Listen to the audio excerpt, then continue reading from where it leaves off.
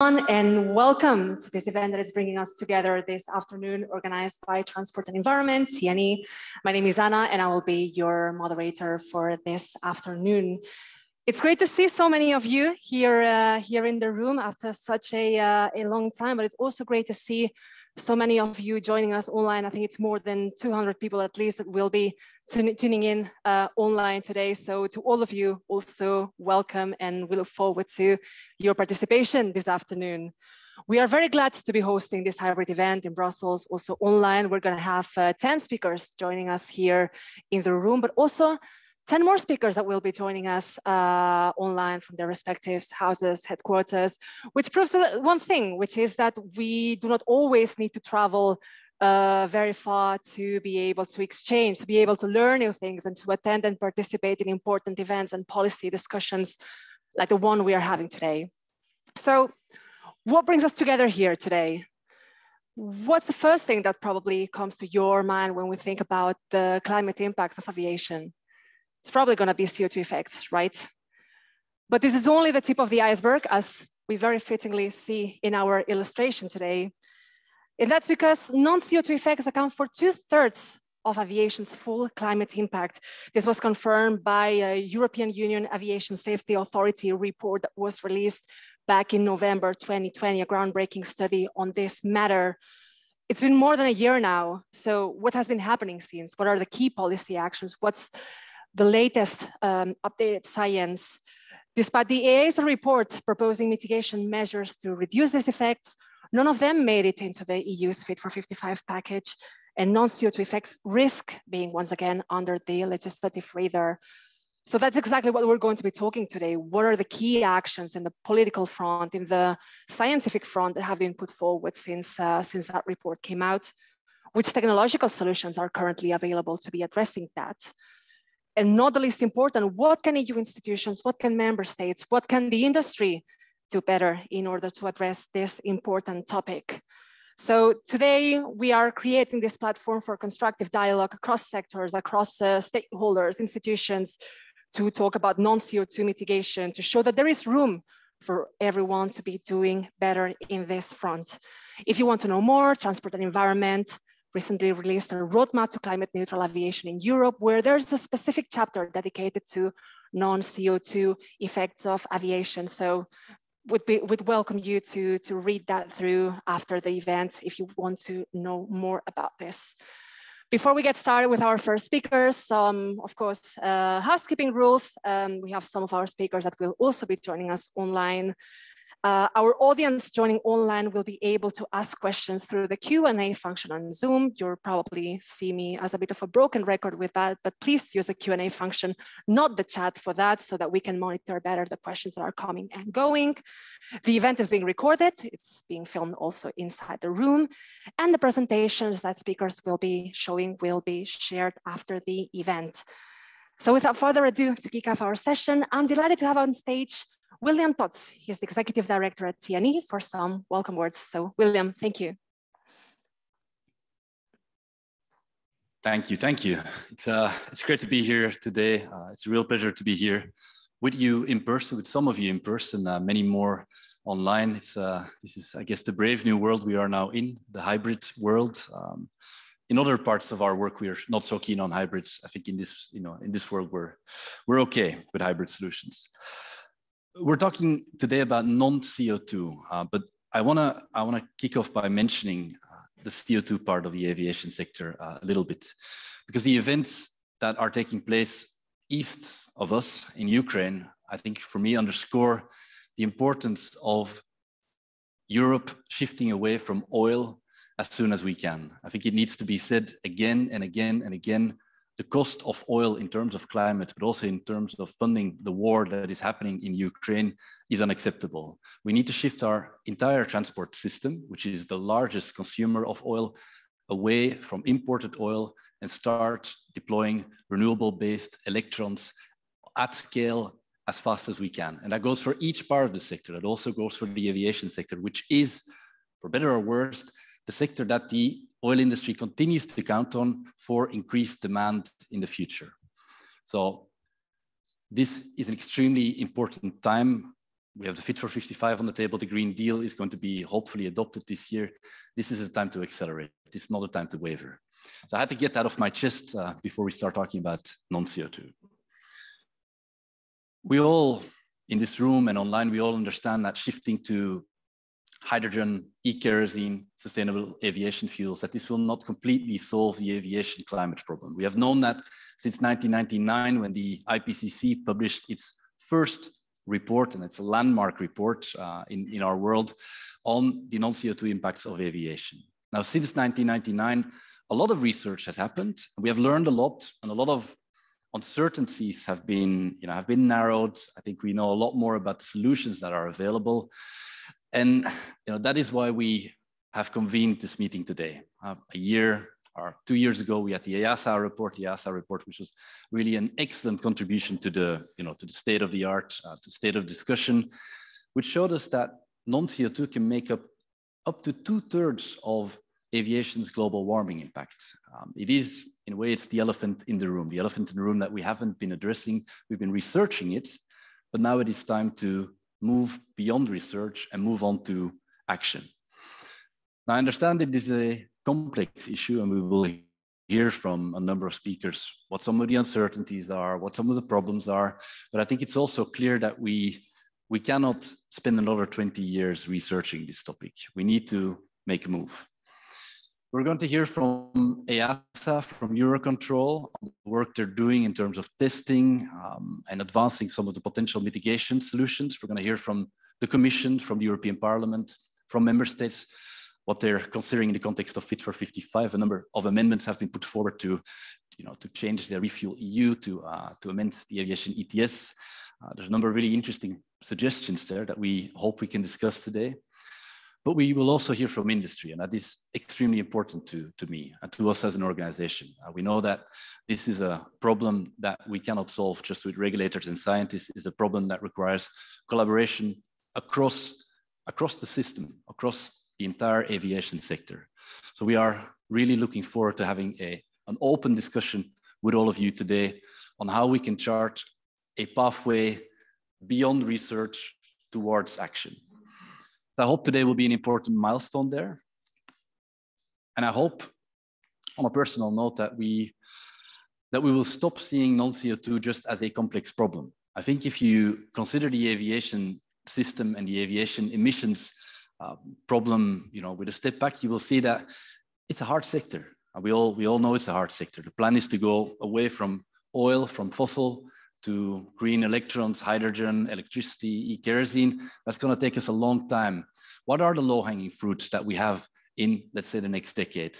Might it actually be that some of the low-hanging fruits we have are in the non-CO2 space, maybe changing the aromatics, changing the, the fuel quality, maybe rerouting some flights might actually be one of the easiest things we can do to significantly improve the aviation industry's impact on the climate. It might actually be one of the cheaper ways too.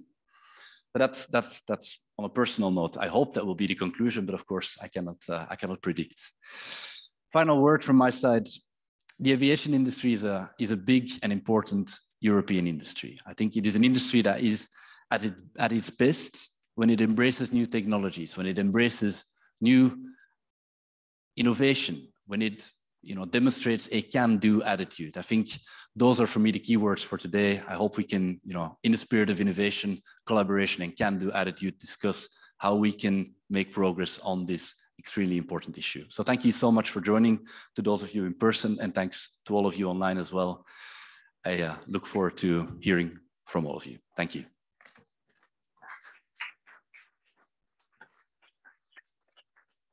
Thank you very much, William and T&E, for, for hosting us here and for setting the scene so nicely on the topics that we're going to be covering today. The, the elephant in the room, really, that we're going to be talking about. Now, as we have just mentioned, so the European Union Aviation Safety Authority has confirmed that non-CO2 effects have a very harmful impact on our environment. So to talk about this, I'm delighted to welcome Patrick Ky. He's the Executive Director at EASA. Thank you very much, Patrick, for being with us. Thank you very much. Good afternoon, ladies and gentlemen. I have a cold, but it's not COVID. Uh, I tested this morning. I can guarantee to you uh, as, as, far as I can. Uh, so ladies and gentlemen, thank you very much for the opportunity uh, to be here today. and to address this uh, important topic uh, of non-CO2 emissions. There can be no doubt uh, citizens expect aviation to take urgent action to address its impact on climate. The pandemic crisis of the last two years, which for a short period almost brought international air travel to a standstill, has uh, had the secondary impact of focusing the minds of many on the urgency of actions to reduce the overall negative impact of humanity on the, on the environment. While aviation was already well aware of the need for action in this respect, activity has stepped up, stepped up considerably in the last two years. We have a series of short-term actions in place, complemented by an intense effort to reduce the carbon footprint and other environmental impacts of aviation in the longer term through new technologies. In the short term, aviation's contribution to reaching climate targets will require widespread adoption of sustainable aviation fuels, as well as market-based measures such as ETS and CORSIA. We are also looking at operational improvements that can reduce fuel consumption and therefore also emissions. Longer term, novel technologies such as hydrogen-powered and electric aircraft uh, will be needed to deliver a step change, particularly for commercial aviation. Such programs are being tackled aggressively by manufacturers who understand the urgency to find alternative and greener solutions while ensuring that new designs and technologies meet the high safety standards we have established in aviation. I was discussing this with uh, William uh, we in EASA are committed to support our industry in all their actions, and we are also increasing our knowledge on all those new technologies. There have been uh, recently a multitude of net zero CO2 emissions targets set by individual companies, industry associations, and governments in order to support emission reductions that align with the Paris Agreement goal for global warming not to exceed 1.5 degrees. However, aviation's climate, and this is the topic of today's meeting, aviation's climate impact is not limited to CO2 emissions alone. A significant contribution is made by non-CO2 emissions, such as oxides of nitrogen or NOx, soot particles, oxidized sulfur species, and water vapor, better known as contrails. In 2019, the European Commission requested from EASA an updated analysis on the non-CO2 effects on aviation, of aviation on climate change to fulfill the requirements of the EU emissions trading system directive. This EASA study, which was uh, mentioned before, was published in November 2020 and built on the latest scientific knowledge to present a fresh analysis of the main climate impacts associated with air traffic beyond carbon dioxide emissions. The study examines the current level of scientific knowledge and the remaining uncertainties on the climate change effects of non-CO2 aviation emissions, the existing technological and operational options that are applied to limit or reduce non-CO2 impacts from aviation and related trade-off issues, the potential policy actions required to reduce non-CO2 climate impacts, the pros and cons of these, and the associated knowledge gaps. The report concluded that the following actions and follow through was required. First, that work is still needed to better understand the climate impact of non-CO2 emissions as, as there is still a significant level of uncertainty on the existing scientific evaluation. And that's really something that I want to, to, to, um, to underline which is that uh, we had created for this study a scientific committee, which had a lot of debates, a lot of discussions on how to evaluate the impact of the different non-CO2 emissions on the climate. And also importantly, the relationship between those different dimensions, because it would be too simple if we could reduce, by re reducing CO2 emissions, we could at the same time reduce all non-CO2 emissions with a positive impact on climate. It is very, very likely that uh, we would need to find trade-offs between different solutions. To give you a very simple example, contrails. If you want to avoid contrails, you may have to constrain the trajectory of an aircraft to fly at an altitude and on a route which are not the optimal altitude and routes for in terms of fuel consumption and therefore CO2 emissions. And it will all be a question of what is the right trade-off between contrail formation and CO2 emissions or non-CO2 emissions such as NOx and SO2. So I really do think, I'm convinced that we need to better understand in detail the models of the behavior of those non-CO2 emissions uh, and the impact on climate. This is key to all the actions that we need to take in the future. And as such, it is therefore important to have regular reviews of the latest scientific understanding on non-CO2 impacts. There is no truth for the, for the time being on uh, the impact of non-CO2 emissions on, on, on, on, on the environment. And we need to have, not absolute truth, but we need to know uh, better what, what the truth is. The third action which was recommended in the report was to maintain and uh, regularly review the existing ICAO environmental certification standards with respect to CO2, NOx, and non-volatile particulate matter. And the, the fourth uh, recommendation was to say that the use of SAF, sustainable aviation fuels, should be increased as it provides a demonstrable reduction in both CO2 and non-CO2 emissions. In particular, for instance, less aromatics leads to less soot and contrails. The proposed Refuel EU legislation aims to, to introduce mandatory volumes of SAF to be supplied to operators. The re report also concluded that uh, further research is needed, potentially through Horizon Europe at EU level, with the aim of increasing certainty on the climate impact from non-CO2 emissions that I mentioned already, considering different metrics and time horizons that could be used to assess the impact of potential policy measures, enhancing existing analytical methods to estimate aircraft non-CO2 emissions in cruise based on ICAO certified landing and takeoff emissions data, enhancing the capability to predict accurately the formation of persistent contrails, ensuring coordination by bringing together experts to discuss the scientific understanding and review project results. We are currently discussing with the European Commission in order to see if, in, in which conditions and if we can continue to work on non-CO2 research and what would be the time frame for undertaking new studies on the subject.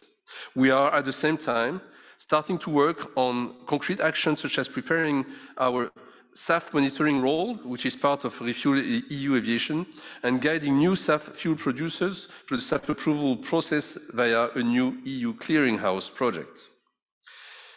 In 2018, you may be aware of that, but EASA was assigned additional responsibilities in the area of environmental protection through what we call our basic regulation.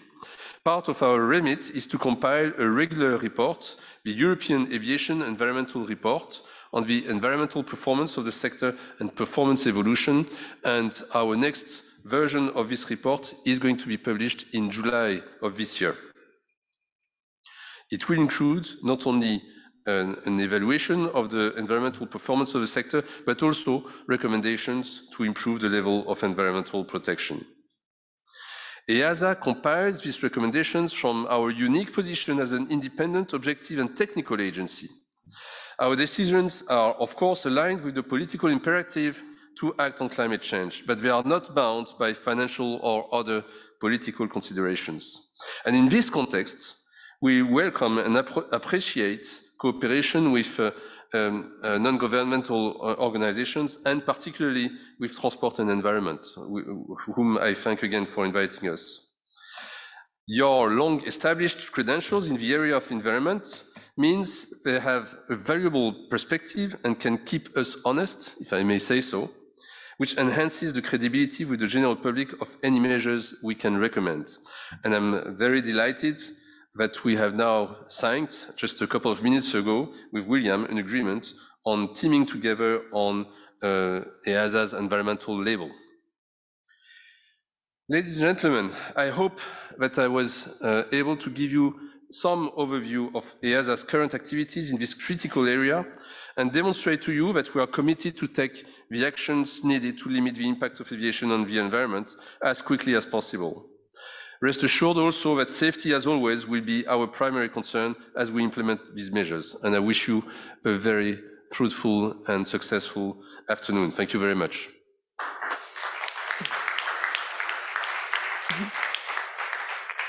Patrick, thank you very much for a great overview indeed and for giving us like this taste of the main policy recommendations of what's uh, one of the things that we're going to be discussing throughout this afternoon. So thanks a lot again for, for being with us.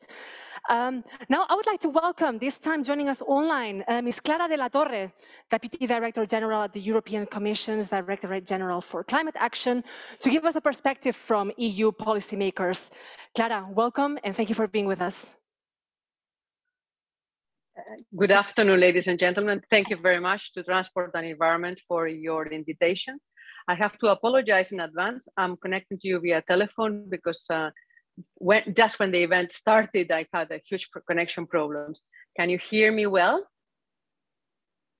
Well, yes, we can. Yes, thanks, Clara. Yeah, thank you, and apologies for that. So, thank you, as I was saying, for for your invitation because this event is uh, is is I'm sure it's going to be uh, to, to, represent a, an important uh, contribution to shed some light on on on uh, on this uh, phenomena and uh, in helping us in thinking forward how to to to to address mitigation of of those non CO2 effects of aviation.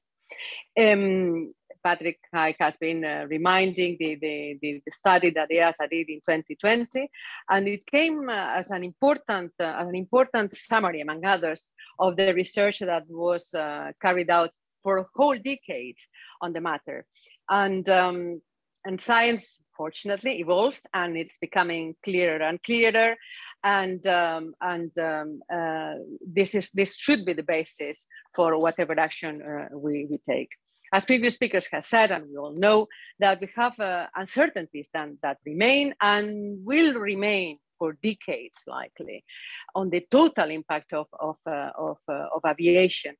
Um, but um, my main message today is that um, according to our, our current uh, state of knowledge, the remaining uncertainties uh, should be taken as, uh, as, uh, as a risk to be assessed when we are thinking of possible uh, um, policies that we would be uh, uh, uh designing to address uh, these matters, rather than the, uh, the, the, uncertainty being something which prevents any further policy action. So this is a bit in line, more than a bit, in line with the precautionary principle as it has been mentioned, we should not forget that, uh, that uh, we have programs like Horizon Europe, uh, which have a long-standing ambition uh, in terms of aviation in many different respects, but not least in reducing the climate effects of uh, aviation in the path that the, the, the, the, sector itself has set for itself as uh, becoming climate neutral. So we have collaborative research, which helps a lot in enhancing the, the, the knowledge capacity of, uh, uh, of, of, of, all of us. And it's also an important support to the, to the partnership on, on, on clean aviation. So turning to the three questions that uh, you have, uh, you have uh, asked us to, to address, the first one is uh, what's the research and policy actions that have, have occurred since this EASA report?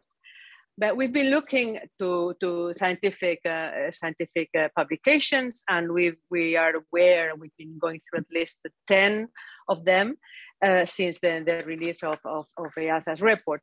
And all of them are looking at climate impact uh, uh, of aviation through different angles. Some of these studies are focusing on better quantification of these impacts, some others in ways to incentivize further action, some others go into dedicated topics as the benefits of fuels efficiency or the strong need as for any policy to monitor, report, and verify non-CO2 emissions, uh, creating um, models for climate profile of, of, the, of the flights. So there are, there are um, there are and there are uh, studies precisely devoted as well to explore how to manage the the uncertainties in while seeking ways to to to address uh, to, to mitigate the outcome on the second question about what are the technological solutions that already exist, um, as, as we know, there, there, is, there is no uh, solution. And as Patrick was saying, there are always trade-offs in whatever solutions we, are, we can think of at this moment. But there are possibly two low, hang, um, low hanging solutions uh, to, to mitigate the, the, the, the non-CO2 in the short term. And these come, of course, in addition to, to the natural win-win approach of, uh, the, of the total climate impacts, uh, like the, the, the, the uh, mandatory uptake of sustainable aviation uh, uh, fuels. So the first is the reduction of aromatics, naphthalene, and sulfur in the jet fuel. And I understand that with a cost estimated recently at not much more than 10 euros per ton of fuel for this treatment, can, uh, aromatics and others can be can be can be halved uh, compared with the current uh, performance. So this measure looks like uh, an important an important uh, the, uh, avenue to, to explore. Um, more than, than more data on the contents of aromatics and, and naphthalene and sulfur, as well as the impact assessment uh, of, uh, of all this needs uh, needs to be well taken into consideration when making any proposals on the on the jet uh, uh, fuel uh, topic. The second avenue is, as was being referred to, the optimization of the flight trajectories. So according to, to recent studies, precisely in the context of SESAR, uh, the, the, the, the, joint undertaking that, that we have with, uh, on, on, on uh, traffic management, um, so according to one of the studies, they were saying monitoring, reporting, and verification of data re relative precisely to non-CO2 in flight could allow to create a climate profile per localization of the aircraft. Of course, this is not an easy matter and uh, and uh, of course it needs an important uh, risk assessment uh, to ensure the, the, the, the, degree of confidence that we can have in the mitigation uh, against that can be can be achieved by that token. The last question is what, uh, what can the EU institutions and the member states do? Um, it is, of course, uh, highly recommended to invest uh, time and effort in this topic, uh, as it, it is already done by some member states and by numerous stakeholders. And the goal is precisely to incentivize uh, research and knowledge capacities with close relations, involving closely industry, and the education sector, but also thinking of, uh, if when possible, uh, of policy options on how to tackle both the CO2 and the non-CO2 effects in a cost-efficient way.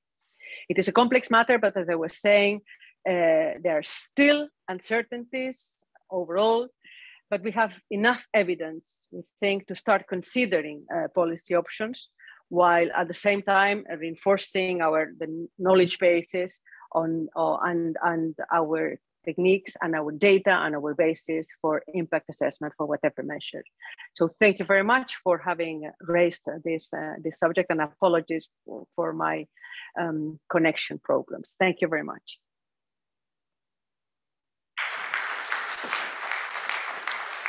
Thank you very much, Clara, to you for, for making the time to, to be with us this afternoon.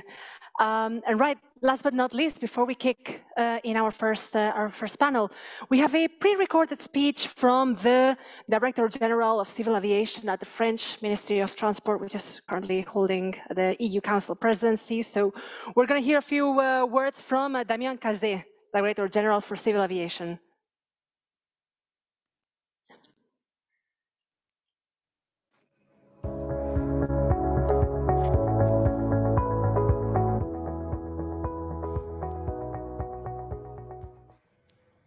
Non-CO2 effects of aviation are not a recent discovery.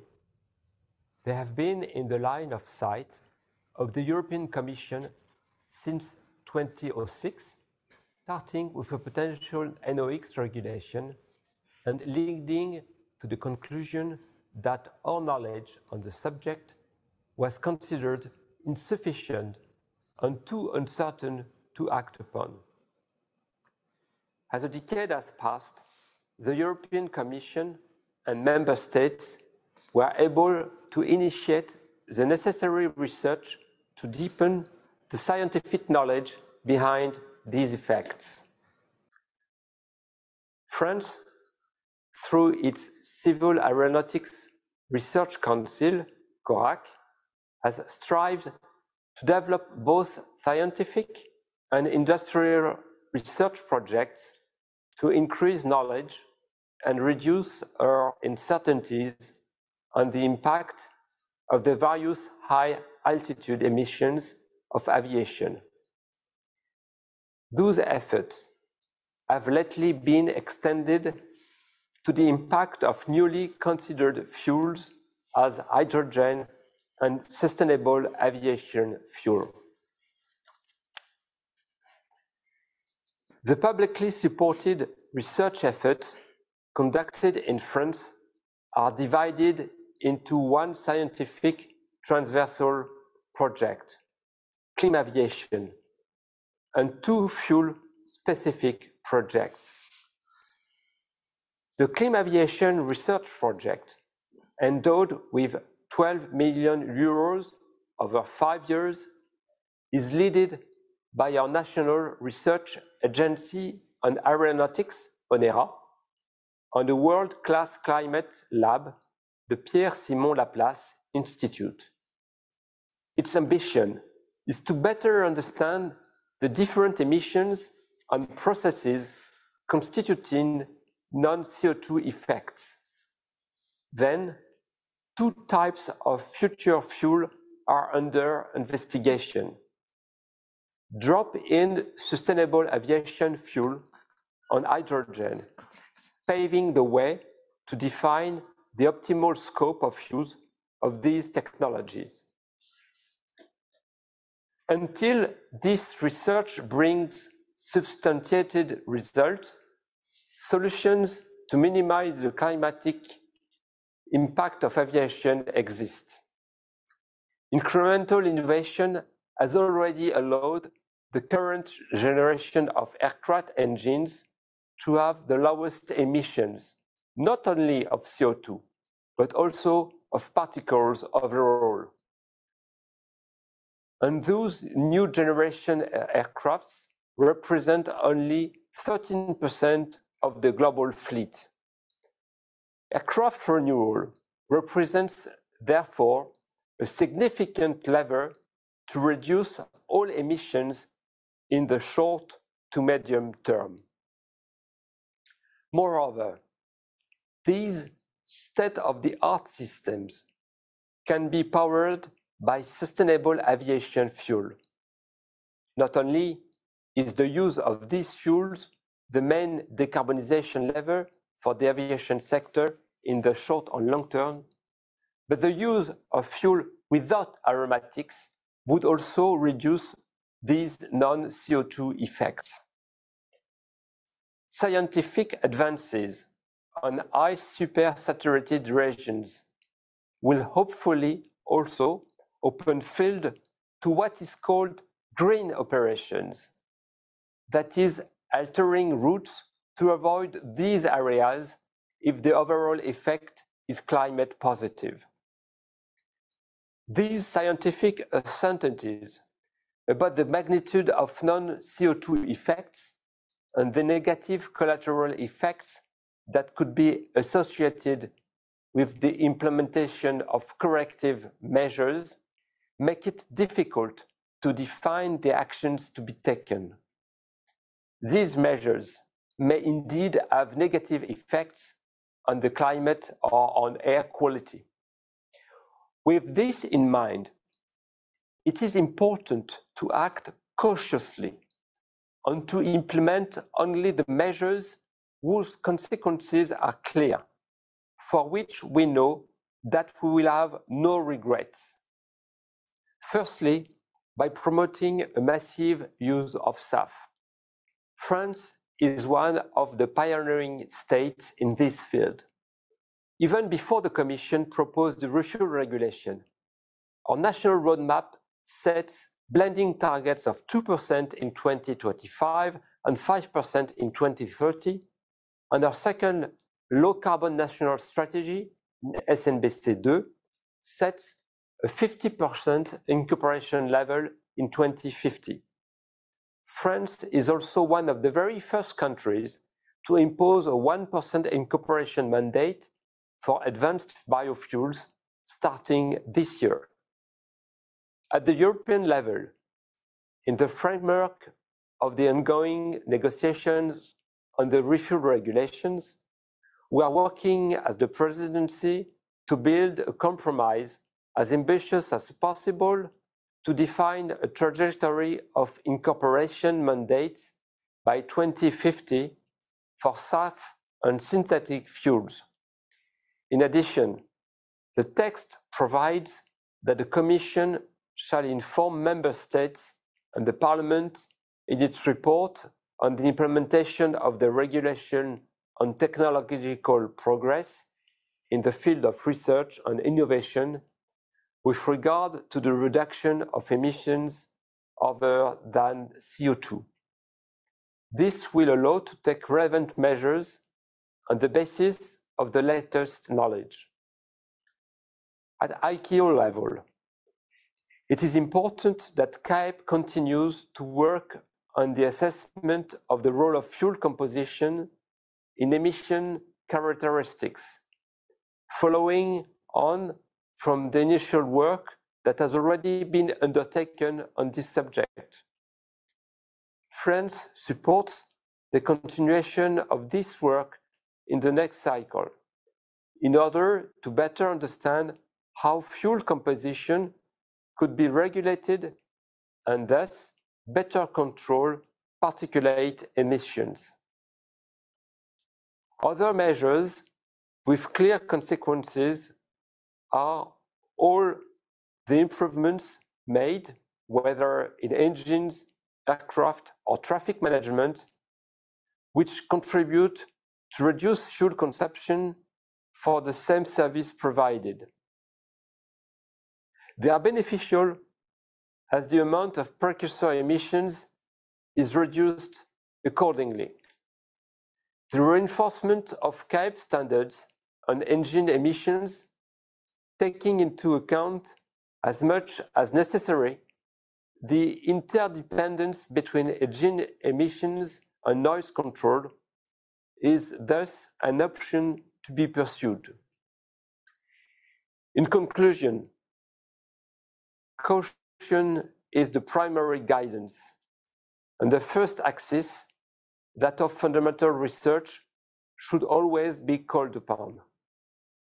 The analysis of emissions during SAF combustion or any blend of SAF and kerosene and the optimization of the resulting fuel composition are areas of research to be pursued. From this perspective, measures on fuel composition are interesting to explore, but their potential benefits must be confirmed. An evolution of the jet fuel standards therefore seems premature at this stage. Similarly, in the context of the current negotiations on the revision of the ETS directive, the priority must remain the gradual removal of free allowances. Thank you.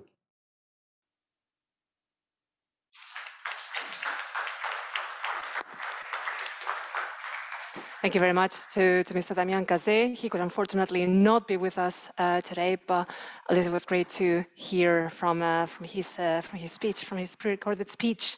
So now we're gonna have our first panel today, where we're gonna be setting the scene on what's been going on on the policy front and in the scientific front as well.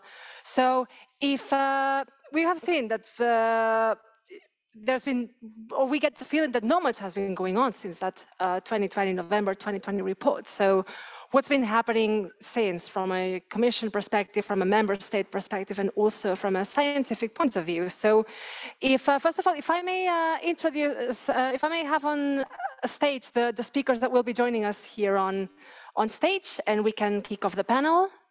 we have Mark with us, and I think uh,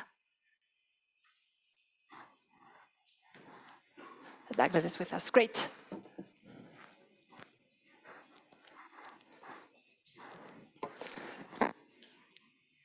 Excellent. So I think we have a stellar panel with us um, joining us uh, this uh, afternoon. So we have with us, uh, first of all, Mark Stettler. He's a senior lecturer in transport and the environment at the Imperial College in London. So thanks a lot, Mark, for being with us.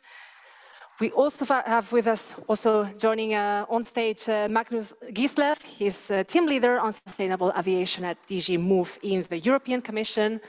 And joining us online, we have, uh, first of all, uh, Jutta Paulus, a member of the European Parliament with the Greens.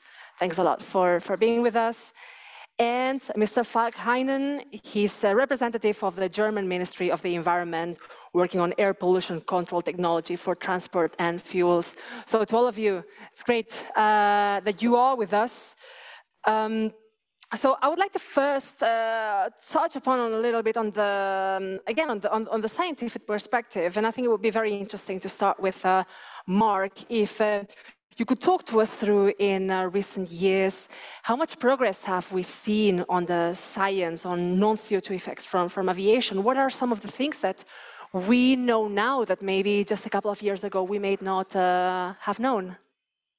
Okay, thank you. Can you can you hear me? I think. Thank, thank you for the introduction. Um, so, so yeah, I mean, as it was said in the in, in the introduction to this event, uh, understanding of non-CO2 effects is not new. Um, there was an IPCC report in 1999. Um, over the last couple of years, though, um, efforts have been going towards reducing the uncertainties, improving understanding. And it has already been stated today that non CO2 effects of aviation account for two thirds of the radiative forcing associated with aviation. Of that, contrails are the most significant. So, contrails and NOx are the two primary non-CO2 components.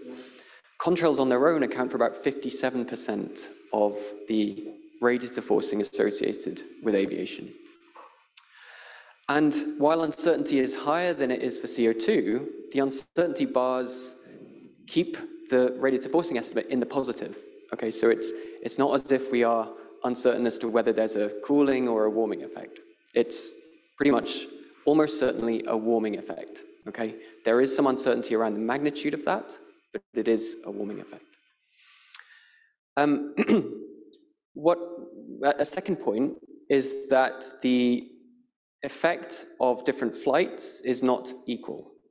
So we, from our analysis, we understand that certain flights have a really significant warming effect. Certain flights, and in fact, most flights have no significant contrail impact. And some flights have a cooling effect. So if you go outside after today's event, you'll see aircraft in the sky, and you might see some contrails, very short-lived contrails being formed. They'll disappear very quickly, at least they did when I was coming into the event today. Okay, so today's contrails outside, above our heads, aren't really a significant warming, having a significant warming effect. From our analysis, what we see is that nighttime contrails during wintertime typically have the most highest probability of being very significantly warming. The third point that we understand over the last couple of years is that um, measurements at cruise show us that changing the fuel properties does change the particle emissions properties and the contrail properties. Okay, so producing fewer soot particles from combustion of alternative fuels, which produce less soot, they burn cleaner, leads to contrails which aren't as optically active, and they um, they also, from what we would assume from that, they they last long uh, shorter. So they have a shorter lifetime, which means that the overall climate effect of those contrails with those alternative fuels would be lower. I could go on, but. It's great overview. I think it sets the scene very nicely to what we're going to, to discuss because we've mentioned before that there's a lot of uncertainty, but there's also an increasing evidence on, on this matter. So if I could now turn to uh, Magnus Gislev uh, from a European Commission perspective. So since that uh, November 2020 EASA report, um, I'm, I'm curious to understand more what has the European Commission been doing to, to address this topic, to address uh, non-CO2 effects. If you could update us on, on that. Thank you and uh, good afternoon to all and thank you to uh, the organizers for inviting also uh, uh, uh other parts of the European Commission, which is in my case DG Move, Mobility and Transport. I'm in the um, aviation policy unit there and I'm team leader for environmental aspects. I'm joined here uh, this afternoon by my colleague uh, Jorge Pinto, who is, uh, among other things, dealing with non-CO2 effects. So um, what I'd first like to stress in this uh, panel when, where we are setting the scene for, for uh, follow-up discussions uh, later on is that in the invitation it was mentioned uh, that um, we are only addressing the tip of the iceberg and uh, there was also reference to two-thirds of, of um, climate impacts being coming from non-CO2. Um, it is true that I spend most of my time worrying about CO2, um, much more than I spend worrying about non-CO2. But the updated analysis of uh, clearly shows that, and it confirms that uh, aviation's non-CO2 impacts on our climate are at least as important as those of CO2 alone. And let me just clarify that uh, while the work uh, on putting together the updated analysis uh, was done by EASA, as also mentioned by Patrick Ky, um, the Commission stands firmly behind the analysis and adopted basically a, an executive summary of this analysis. Um, that was, you know, subject to formal inter-service consultations and so on, the normal uh, commission procedure. But I'd also like to point out there was no polit political interference in uh, how we presented and how we adopted the uh, results of the report. It was adopted as EASA had written it, uh, including what uh, EASA had an analyzed regarding the six potential policy measures that they had identified. So coming to these, um, it was also mentioned in the invitation, a bit strangely, that none of the six uh, made it into the Fit for 55 package.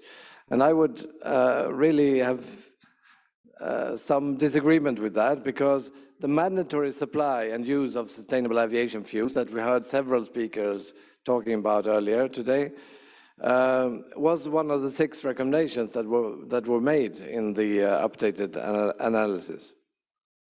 And this is precisely what the Commission proposed in its Refuel EU uh, aviation proposal for regulation, a regulation setting up a mandatory uh, blending schedule for sustainable aviation fuels. Uh, and this was also actually uh, referred to by Mr. Cazé as well. Um, let me just say a few words about that proposal. Uh, the proposal is un uh, currently undergoing the legislative process in the EU, but we expect it will still be adopted this year. Uh, the use of SAF would in principle be a win-win solution reducing both CO2 and non-CO2 emissions. And this is assuming that the, uh, there are no increases in the aromatic or sulfur content uh, of the fossil-based part uh, of the blended fuel that could negate any benefits from uh, sustainable aviation fuels. And we think that that will not be the case. And SAF could even be a win-win-win uh, solution, as it would also uh, reduce local air pollution uh, around airports. And the Refuel EU uh, proposal also addresses the risk of tankering, fuel tankering outside the EU. And under Refuel EU, EASA will indeed have uh, access to key data regarding the composition of the uh, fuel blend making it possible to determine emissions of different fuel blends. And this will in turn enable EASA to do a technical analysis regarding non-CO2 emissions and the use of SAF. Uh, it's also worth men mentioning that um, the future zero, uh, zero carbon aircraft uh, technologies should also provide non-CO2 benefits. Uh, and this is provided that the combustion system is, is optimized. So out of the six uh, policy actions, we concluded that more research was needed on the other five, while potential co-benefits uh, on non-CO2 could also arise from the um, proposals in the Fit for 55 package on the emissions trading system and the energy taxation directive. Uh, so what I just said about uh, additional uh, research applies as well to the potential inclusion of NOx, uh, NOx emissions in the EU ETS, uh, where the updated analysis found that the uncertainties of NOx emissions um, are significantly higher than those of CO2, and that there is a need to uh, pay attention to the credibility of the uh, emissions trading system in that regard. Eh? And I'm coming to the end. Um, the analysis also recognizes uncertainties about the direction of uh, climate impact of NOx in the future, because where there uh, is warm, whether there is warming or uh, or cooling is dependent on background concentrations of other pollutants. Finally, uh, regarding the uh, operational improvements and air traffic management, uh, including avoidance of ice supersaturated areas, the EU is continuing to fund research on this uh, in uh, under Horizon 2020, Horizon Europe, and under SESAR. Uh, and I look forward to hearing about some of these um, results in the um, couple and in the next couple of panels. Thank you. Thank you very much, Magnus. If I can turn now to uh, MEP Jutta Paulus. So uh, you are the ITRE rapporteur for the Refuel EU for, for aviation. Um, I would like to, to understand more, like which, which proposals uh, or, or, which amendments um, are you uh, putting forward to address non-CO2 effects? To which extent there is a scope within the Fit for 55 package in this exciting uh, policy context that we are at the moment to, to address non-CO2 effects? Yes, thank you very much for this important event and thanks for inviting me. And as you have said, I'm the rapporteur for the ITRE opinion. This file is distributed among three committees, so the TRAN committees in the lead and the ITRE industry, research, energy, and the ENVI environment environment um, committees can bring forward opinions.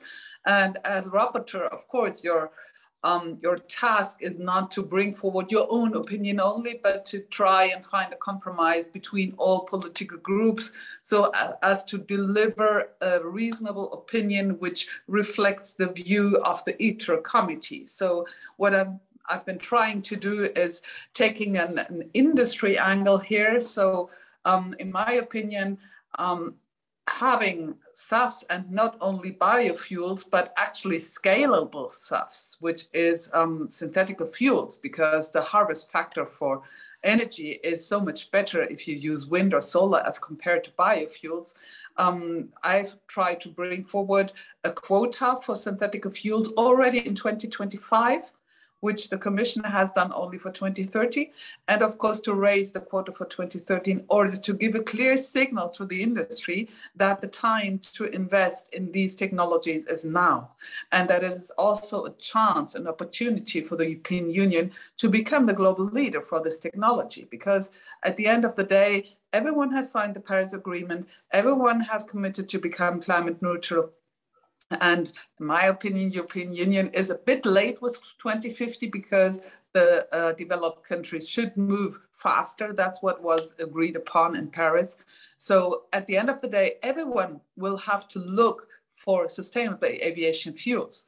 So the ones that have been the early birds in producing them will actually have an advantage. And that's what I'm trying to convene to my colleagues in ITRE. And we're making a good progress, I would say.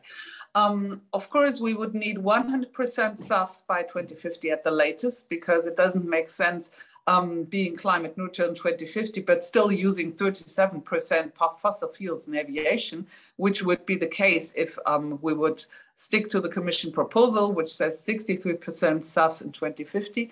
Um, and also, I have tried to put in something on non CO2 effects, namely on um, limiting the amount of aromatics and sulfur in jet fuel. I know that this is also a safety issue because uh, those seals that are in the engines are swollen due to aromatic content. But I think um, as the uh, ICAO has limited, has said we need at least 8% of aromatics in jet fuel. Well, why not limit it to 8%? If 8% is a safe level, then we should go for 8% now. And then, of course, going to do further research in order to find out whether we can still lower these limits. This, of course, could be taken into account when the um, when the guideline would be revised in 2027 or 2028. But what we could also do already now is decrease the level of sulfur because we know that sulfur is also um, a factor when contrails are, are formed um, during aviation. Um, also, what I try to put in there is to um, broaden the scope so that we will not only have the largest airports um, being being being taken into the into the directive because then we will end up with a European Union of two speeds where the, where the large airports already use SAFs and the small airports will end up in 2035 saying, well, we don't have any infrastructure. How are we going to use those SAFs? Everything is going to the big airports. So we think that there should be a derogation for autonomous regions, no question about that. And of course, the larger airports should go on quicker, but we need to already see in the future that the smaller airports have to be included also.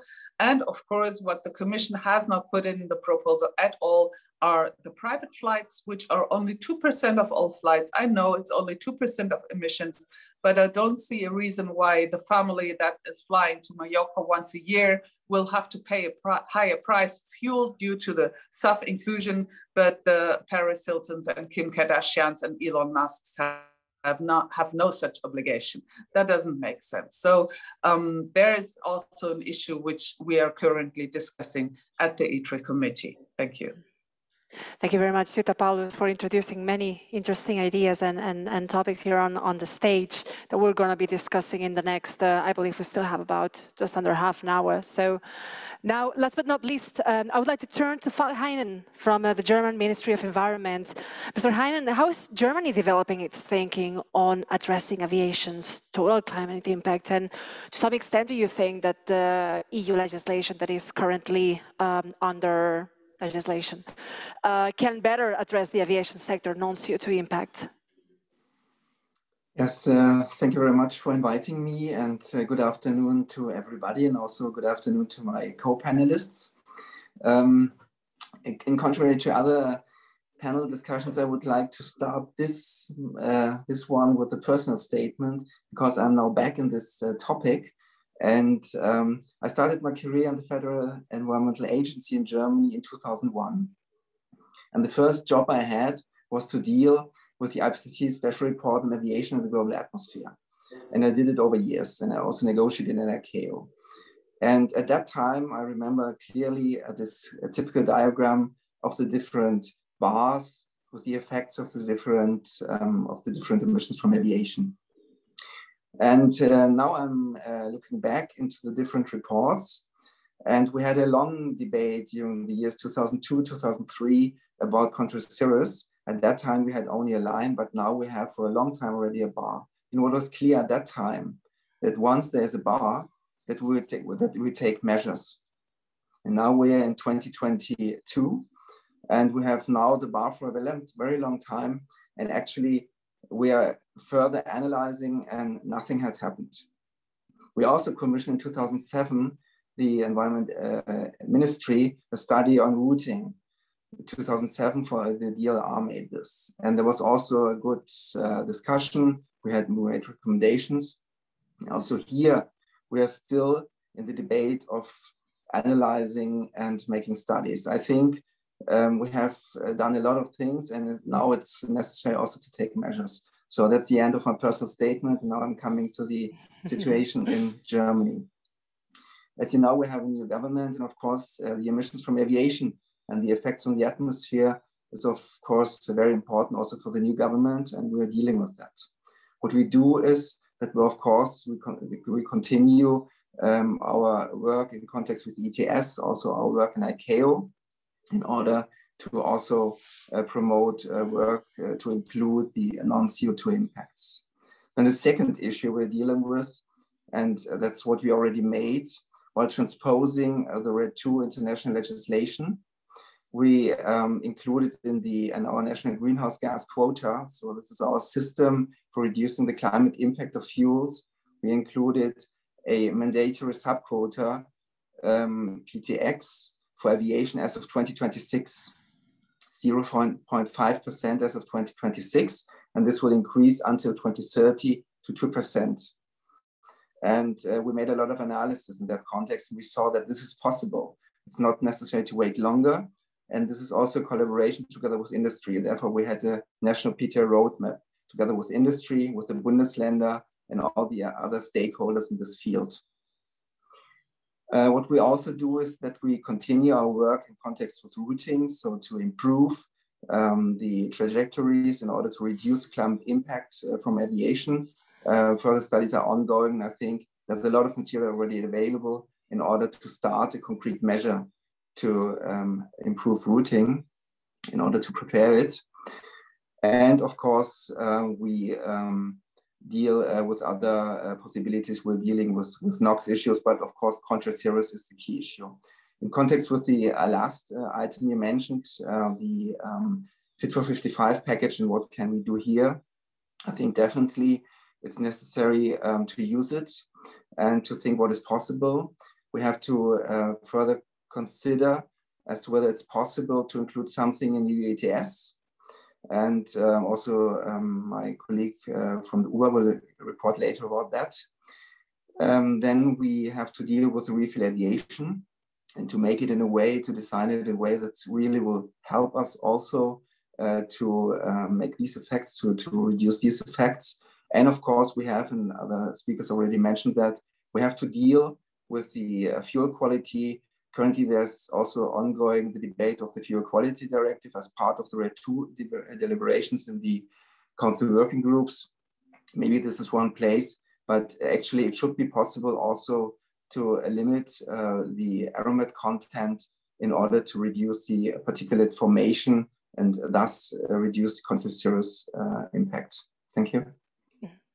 Thank you very much, Falk. Now, before we jump into the next question, I will allow for a quick round of reactions. So if anybody would want to react to any of the speaker's statements, you have up to one minute for a uh, for a reaction statement. I'm not sure if uh, Mark, Magnus, Jutta, Falk would like to comment on anything specific, or we can move to the to the next questions. Uh, just, right. just a very quick remark, mm -hmm. because um, one of the other speakers, I forgot to jot down the name, said, well, long it wasn't clear whether contrails are contributing to warming or to cooling. I mean, I'm old enough to remember 9-11 in 2001.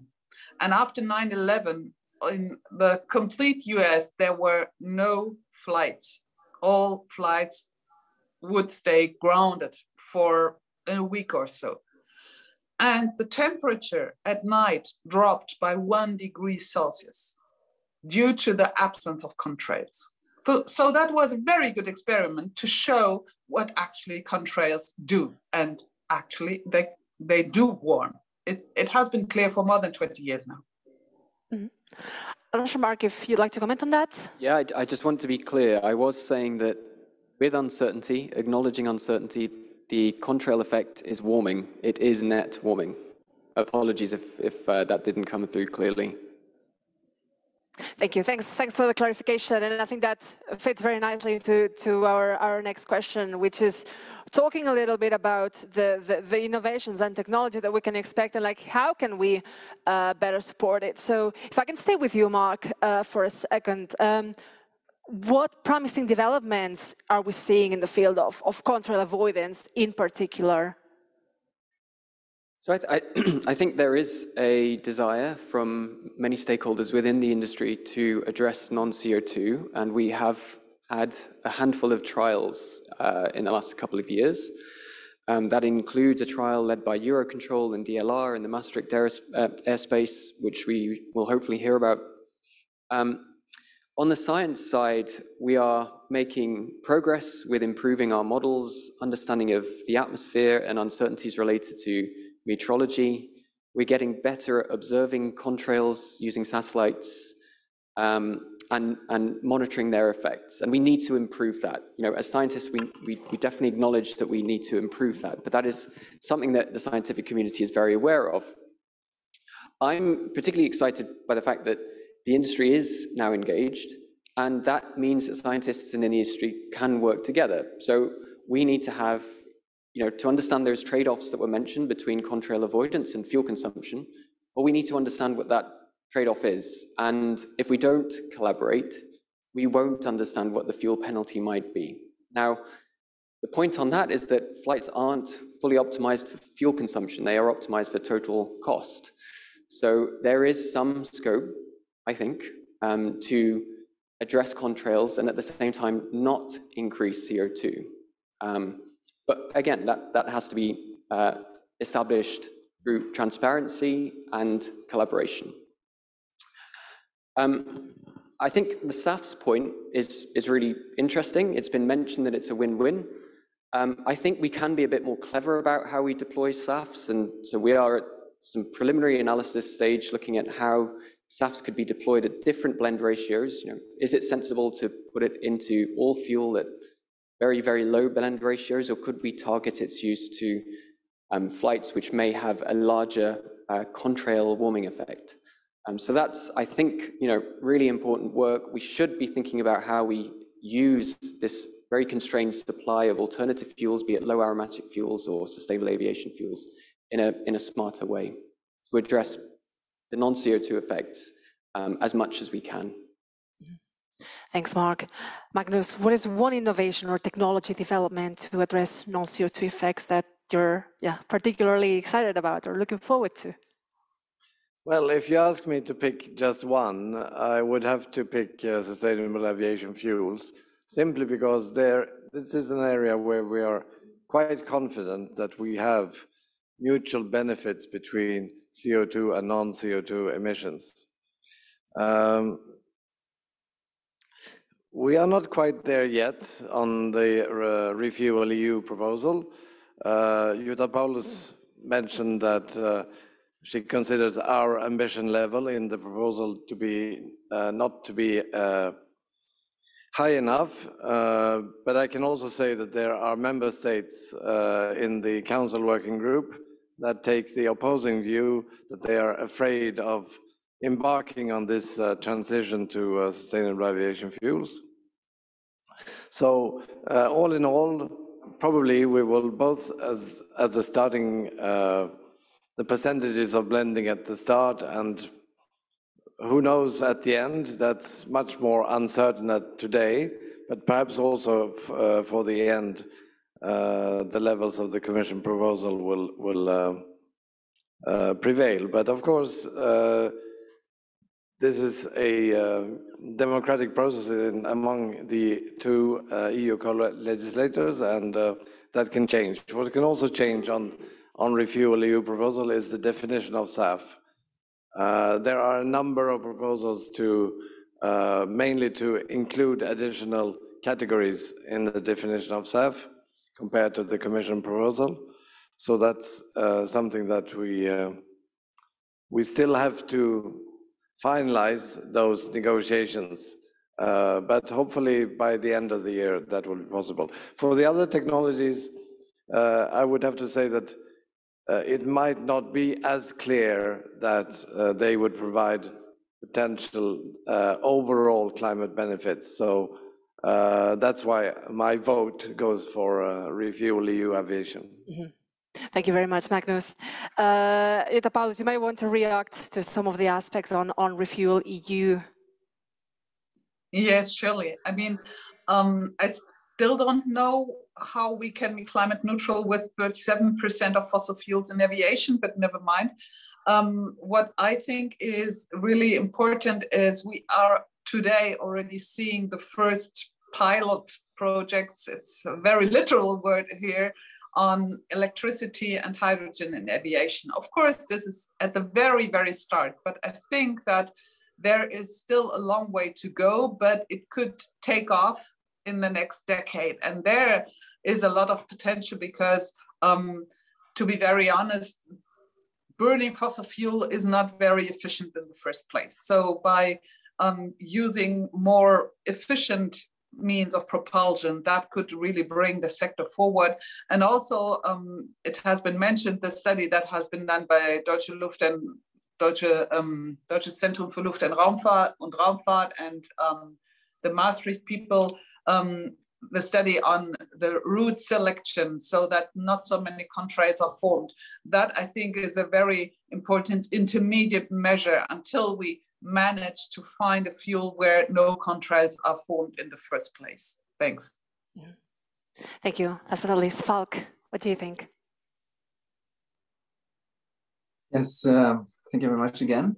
And I would also like um, to touch upon the fuels. Of course, we have to continue our work in context with technical and operational measures. But I think uh, fuels are definitely the key opportunity to, re to reduce uh, the um, climate change impact of aviation and thus also the non-CO2 effects. And um, as I said, we included um, in our national greenhouse gas quota the um, PTX quota for um, aviation. Um, this will increase from 0.5% to 2% in 2030. And this is a key opportunity. And we made a lot of analysis in Germany about hydrogen. It's already, and it's well known also in the Brussels debate that we have a long history here in context with PTX. And we decided to put um, the uh, PTX, the RFNBOs produced with additional renewable fuels uh, has no direct uh, direct electric alternative, and this is aviation. And uh, of course, we need to produce it, but we made a lot of analysis what is possible in order to start and when is it possible uh, to start. And we came to the conclusion that 2026 already is possible.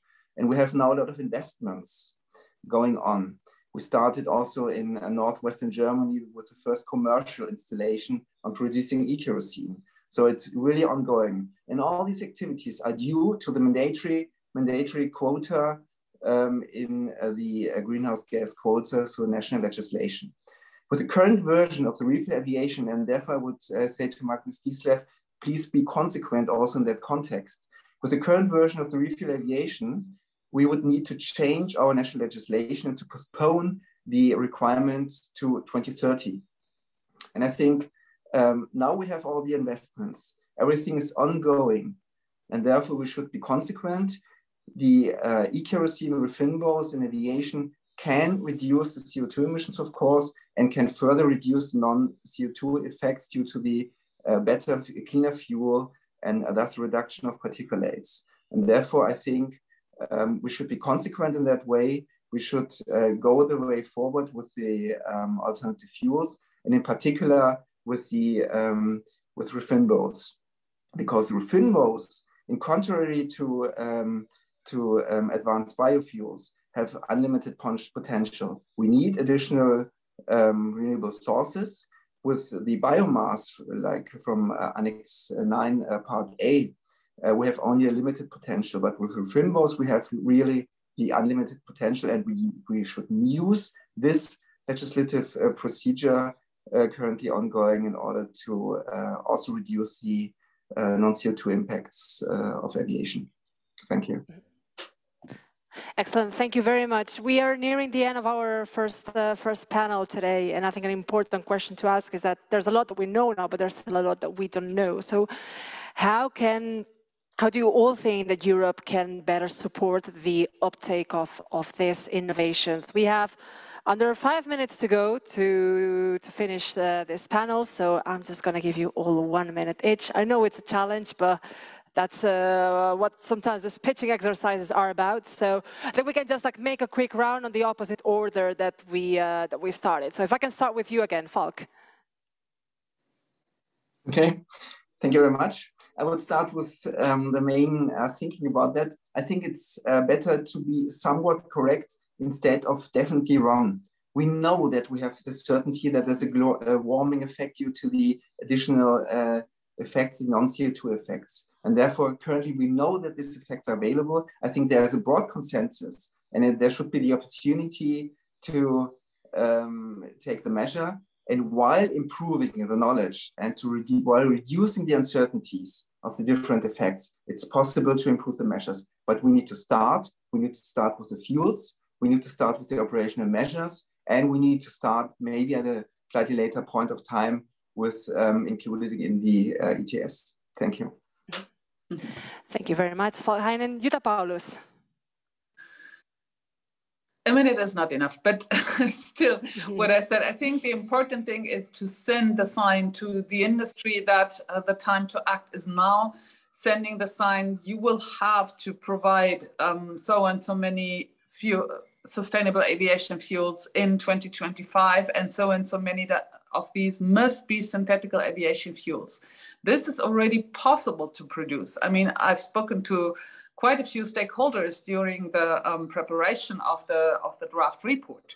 So they all said, we are ready to invest. We have tested our technology. It does work. We can produce synthetical aviation fuels, which of course, um, as the landmass of, on this planet is limited, are much more efficient than producing sustainable aviation fuels from biomass.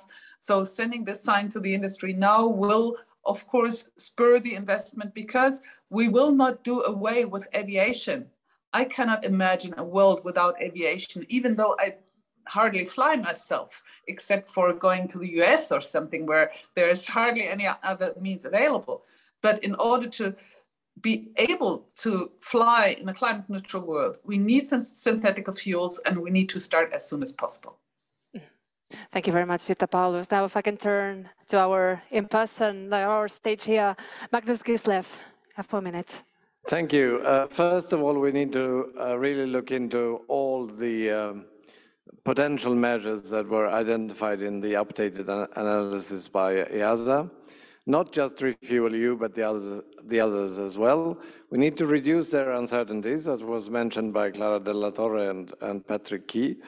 Um, I would also to that add that for the time being, as we've discussed, we've been we are focusing quite a lot on the refuel EU, uh, and hopefully we will have a blending mandate in, in force from 2025. Uh, but many of these issues are probably best addressed uh, at international level, and therefore I would like to also highlight the fact that uh, ICAO is doing work on this in the context of the, uh, well, within the framework of the uh, Committee on Aviation and, and, Environmental Protection and have four specific actions on this in the next uh, period. Uh, basically, that, that's everything we need to do as the EU. We need to, to refuel EU, EU aviation. We need to follow up on the other uh, policy, um, potential policies identified, and we need to act in, internationally in ICAO. Excellent, Magnus. Thank you very much. And last but not least, Mark, also from a researcher, from a scientific perspective, what do you think? What, what, what do you need as a researcher to uh, to con continue on, on, on, this research and like to understand more uh, on the non-CO2 effects? So I'm, I'm not a policymaker, but it seems to me that there needs to be an incentive for action, um, and that will drive uh, associated industries, supporting industries to also provide better data, meteorological forecasts that are improved, to innovate and in invest in improving the data required to you know, reduce uncertainties, make better accuracy of contrails. In terms of the science, science and industry really needs to go together in this. Every time we fly, we are forming, you know, have, essentially doing an experiment. Does it form a contrail or not? Every time we put some SAF into an aircraft, does it form a contrail or not? How long does that contrail last? And at the moment, as scientists, we don't have that information about fuel and proper flight trajectory data. Often we take you know, radar data or uh, ADS-B GPS data and we piece, we piece together trajectories um, where we don't have data points. We also don't know the fuel composition of flights. So our understanding of how you know, specific flights lead to contrails is really not perfect. And we could reduce our uncertainties, improve accuracy if we have better information, more transparency. All right, so thank you very much, Mark. Thank you very much to all of you. I think we could grasp, let's say, the many dimensions involved in, in, in this important topic. We've discussed many solutions, many potential potential pathways. What do we have? What do we still need um, in order to enact more legislation on, on, on these matters? There's been a common thread. I think a lot of uh, a lot of us we've been talking about about fuels, and that's precisely what our next sessions are going to to be about in the upcoming on the new technological developments. So uh, make sure to, to stay with us. Don't, uh, don't miss the, the next, uh, next sessions. We have a few more technical questions also, for instance, con contrail uh, avoidance matters, but we're going to have also some more presentations on that, so we will probably be able to address the questions uh, later on. So, uh, Falk Heinen, Jutta Paulus, Magnus Gislev, and Mark Stettler, thank you very much once again for, for being with us this afternoon.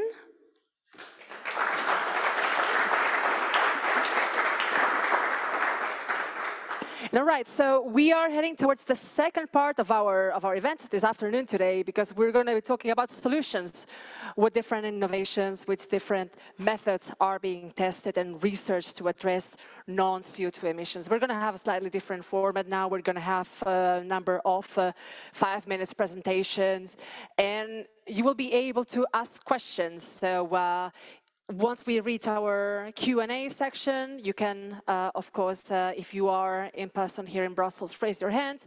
If you're online, again, uh, write down your question in the Q&A function, not the chat. Uh, so we will be able to take up as many questions as possible. So we're going to have two sections. Uh, we're going to have a coffee break in between at five minutes to four um, so we're going to start um, with the first session, with the first presentation on the climate impact of aromatics. And we're going to have with us Mr. Patrick Le Clercq. He's the head of department for multi-phase flow and alternative fuels at the German Aerospace Center, DLR. Uh, Mr. Le Clercq, uh, um, I'm online. Can you hear me? We can hear you and we'll be very shortly be able to see you too, I believe. Yes, can you see the, the presentation? Just a not yet. We're having a small, just bear with us for a second, please.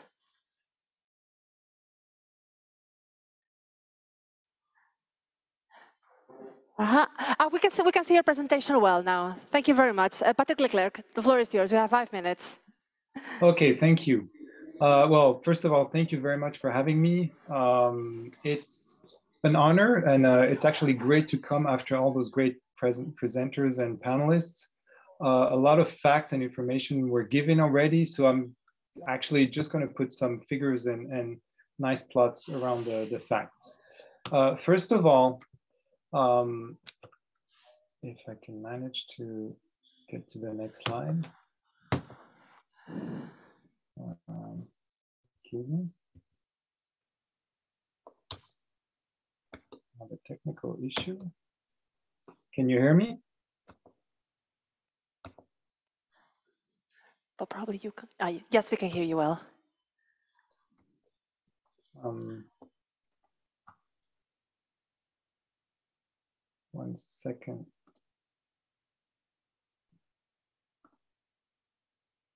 Very sorry.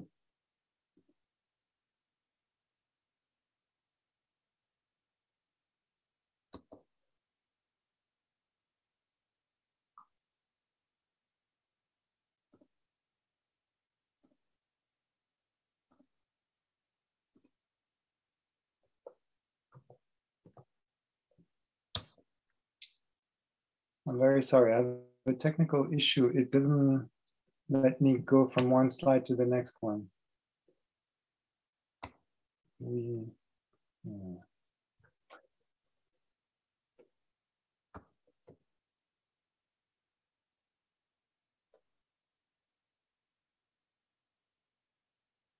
you probably have to skip to the screen of the presentation in order to be able to move it. So while you're in the Zoom screen, in the Zoom tab, so to speak, it doesn't move. Um, yeah, actually, the, the the control of the presentation is on this on a different uh, screen, and it, it doesn't let me even on the on the keyboard. I can't I can't control it. I'm really sorry. Um, Hello, Patrick. Patrick. Maybe we can support. Yeah, you can hear do you, have, do you have my presentation with you? Patrick, we're going to do the slides from here, so we can Thank you very much. Uh, yeah. ourselves. Just let us know next slide, and we'll do it for you. These okay. are the choice of a hybrid event. Thank you for bearing with us. Yeah, slide number two. Thank you.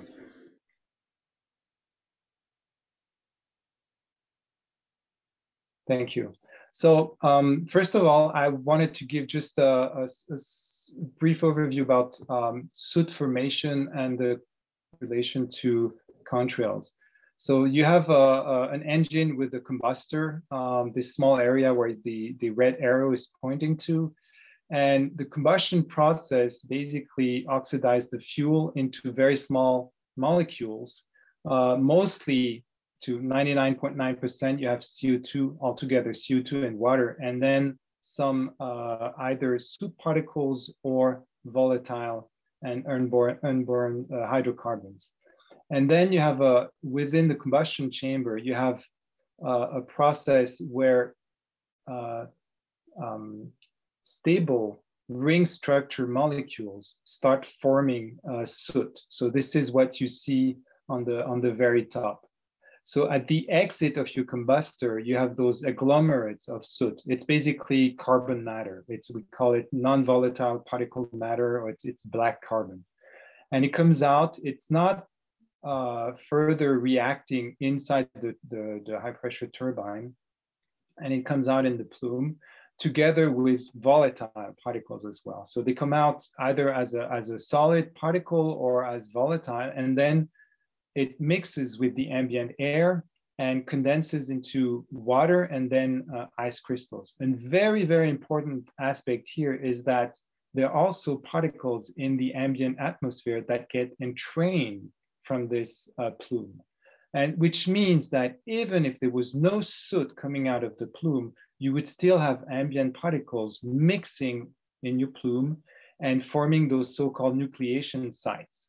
So basically, uh, you, you, you have here a relationship between your fuel composition, the combustion process, the soot particles coming out of your engine and, and at high speed in the plume mixing with the environment, and then where water is condensing onto and then forming ice crystals. Now, under certain conditions, um, these will either not being uh, seen as, as ice crystals or being uh, long-living uh, uh, contrails, which then triggers the formation of cirrus clouds or cirrus uh, contrails. And this is, this is key. It means that it's not just the contrails that you see in the sky that will uh, modify the radiative balance. It's the, the, the high cirrus clouds that cover a lar large surface area that will modify uh, the, the radiative balance, which are triggered by the, the contrails. Now, next slide, please. Uh, now, as I've, as I've mentioned, there is a relationship between your fuel composition and the contrails. Now, if you look at the fuel composition, uh, what you see first is a safety range. When, when you, whether it's a conventional fuel or a SAF, uh, you need to be within a, a certain uh, safety range. And these, this is called the specification. So you have requirements that needs to be fulfilled by the, the fuel in terms of properties. And here I just took an extract from the, the standard, which is the, the amount of, of aromatics. And you have here for conventional fuel, just a maximum limit. There is no minimum limit. Uh, the minimum limit comes into play just with the SAFs that were um, approved so far. That's the second uh, standard that you see here on the bottom left. And the, the minimum is 8%. Um, once it's uh, it's mixed with, uh, with, blended with the conventional fuel. Um, so, but this does not mean that you know exactly what's in the fuel in your in your aircraft. So on the other side, you have a safety check. Every batch of fuel that's produced at the refinery comes out with a certificate of analysis or certificate of quality. And there you need, you see that it fulfills all the, all the specification requirements. But again, this fuel batch will be mixed at the, at the tank, at the airport tank, and so you don't, you never know exactly what's in your aircraft. And I think it was mentioned uh, uh, before, and that's a very important uh, aspect. It was mentioned by uh, uh, Mark.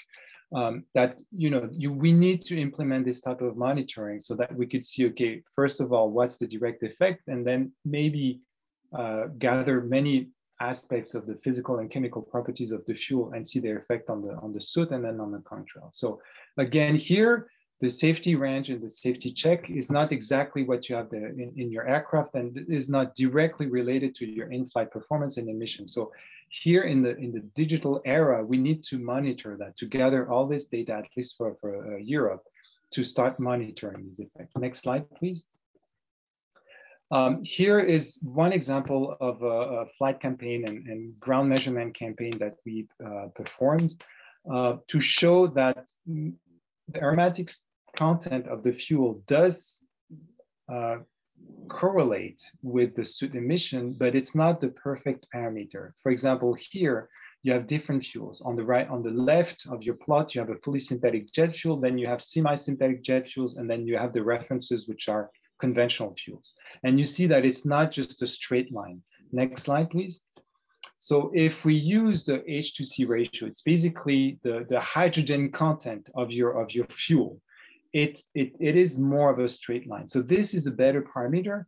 However, the problem is this information is not given in the certificate of quality. So maybe that's one of the first measures, try to have more information about the chemical uh, composition and the physical properties of your fuel that are listed uh, so that we can correlate better with the soot emission. But we see here that with the reduction or the increase in your hydrogen content, you have up to 70% reduction in your uh, particulate emissions, the non-volatile particulate emissions. Next slide, please.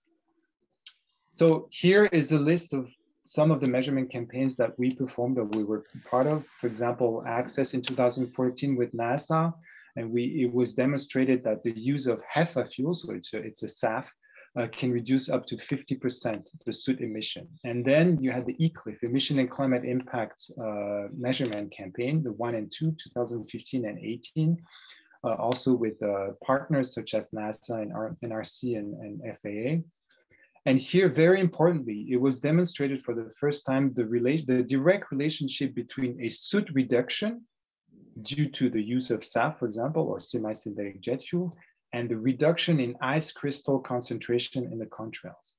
So this is this is the, the key so that we have a direct link between your fuel and the climate impact through the contrails. And then lately in 2021 with the Airbus, Rolls-Royce and uh, Neste, we performed 100% SAF because I think, and it was mentioned before, this is the this is the future. We need to go towards 100% SAF and best of all would be 100% synthetic paraffinic kerosene, so without any aromatics. Next slide, please. So again, here is just to put figures on what was said before. Uh, I think was mentioned by uh, Mark Stettler. Um, you see on the left-hand side, uh, the overall uh, climate impact of aviation and specifically CO2 and non-CO2 effect. And you see the air bars. And I think that was also a big discussion point. You see that for CO2 effect, so it's the second line, um, you have a small air bar or uncertainty bar with respect to the contrail. But still, again, it was said, it's, it's in the red. So it's, it's warming, it's a warming effect. The, the, the blue zone is, the blue bar is a, is a cooling effect, but the red is a, is a warming effect. So you overall, you have a warming effect.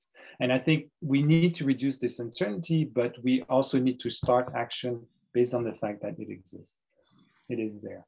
Um, now, there was a further study by my colleagues at the DLR from uh, uh, um, the Institute of Atmospheric Physics, which showed that if you use a fuel which can reduce up to 80% uh, the soot emission, and that's not science fiction, it, it is possible, then you have up to a decrease of 50% of the radiative forcing. And you see here on the on the this map uh, in the, the, different flight routes that um, it's it's the, the blue areas are where it's it brings a real difference compared to a, a standard case uh, in terms of uh, reducing this warming effect.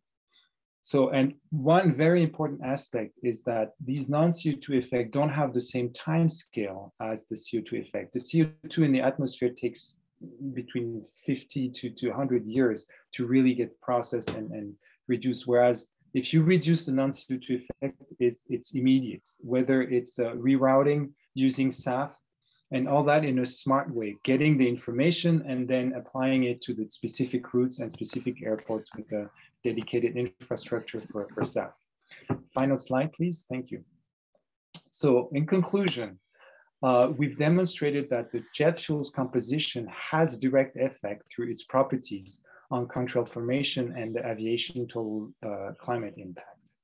Now, we advise maybe not to consider only the aromatics content, but several physical as well as chemical properties of the fuel um, so that we can estimate in a better way and then maybe uh, uh use that in, in, uh, um, in, this, this framework of European uh, um, use of SAF and rerouting um, and, and um, assess the contrail uh, impact.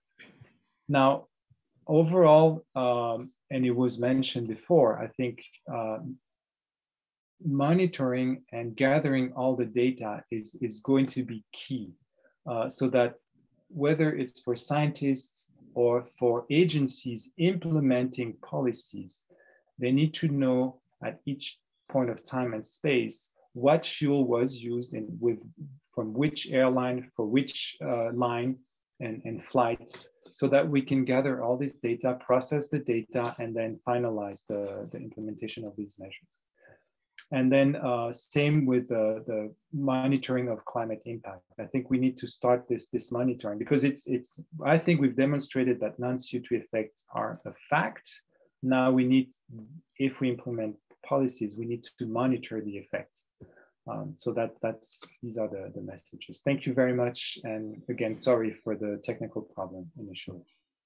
The, pro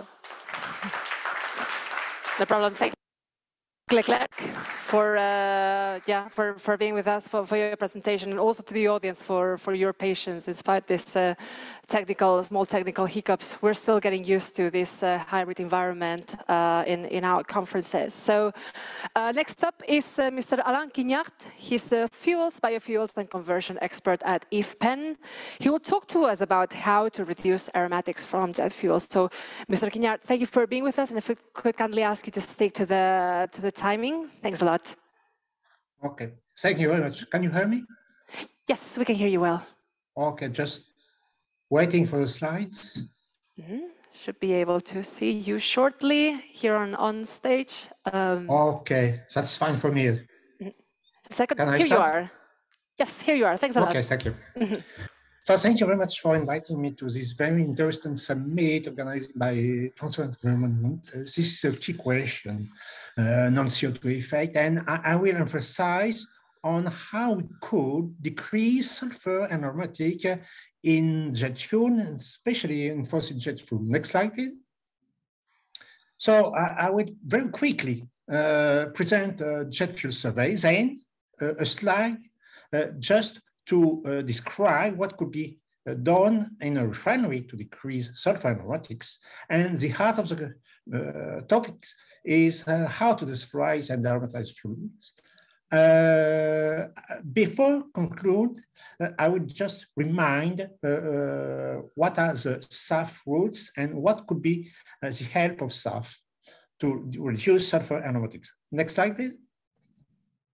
So I take the example of this quite old 2006 CRC survey, but it remains very interesting because the specification of jet fuels are remaining the same. So this survey is very interesting because uh, uh, uh, we have a very large range of characteristic and chemical composition uh, related to different type of civil and military jets. So mainly from North America and Europe, but also from other countries. Next slide, please. So Uh, just regarding uh, the sulfur is at an average of between 400 and 600 ppm, depending on the uh, jet type, with a maximum of uh, 2,500. So well below the specification. And the survey is in line with another survey uh, performed in 2013 called PQIS. Okay. Uh, just, uh, okay, thank you. Regarding the aromatic, uh, the average is close to 17, 18%. Uh, and with a minimum aromatics a little bit higher than 12, 10%.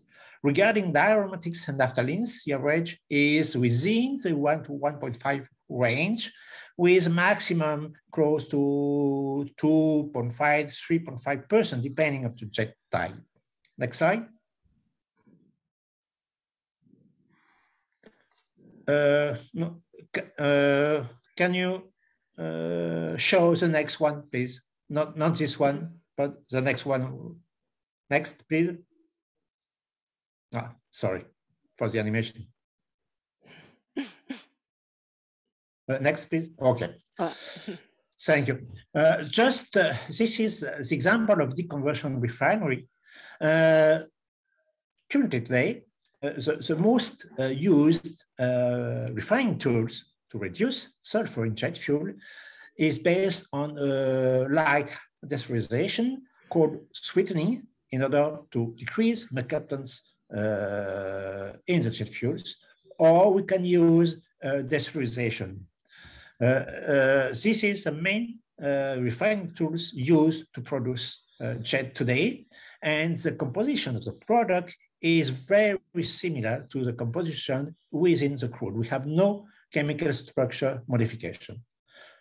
The other, uh, next. Yes, the other refining tool quite used uh, in refining is the so-called hydrocracker. It's uh, hydrocracking at high pressure, uh, high with hydrogen and high temperature. Uh, and the, hydrocracking, the hydrocracker will modify quite a lot the chemical structure of the product towards many saturates, normal and isoparaffins, monocycloalkanes, with a pretty low aromatic content uh, with relation to the crude oil. So next slide, please. So uh, regarding desulfurization, uh, this uh, desulfurization of jet fuel down to 10 or 100 ppm is quite easy because we can use conventional uh, HDS catalyst used for gas soil hydrotreatment. The chemical structure is not changed. We have a very low hydrogenation of the aromatics, naphthalenes, no hydrogenation of monoaromatics, and resulting in uh, almost no more hydrogen consumption than for conventional refining.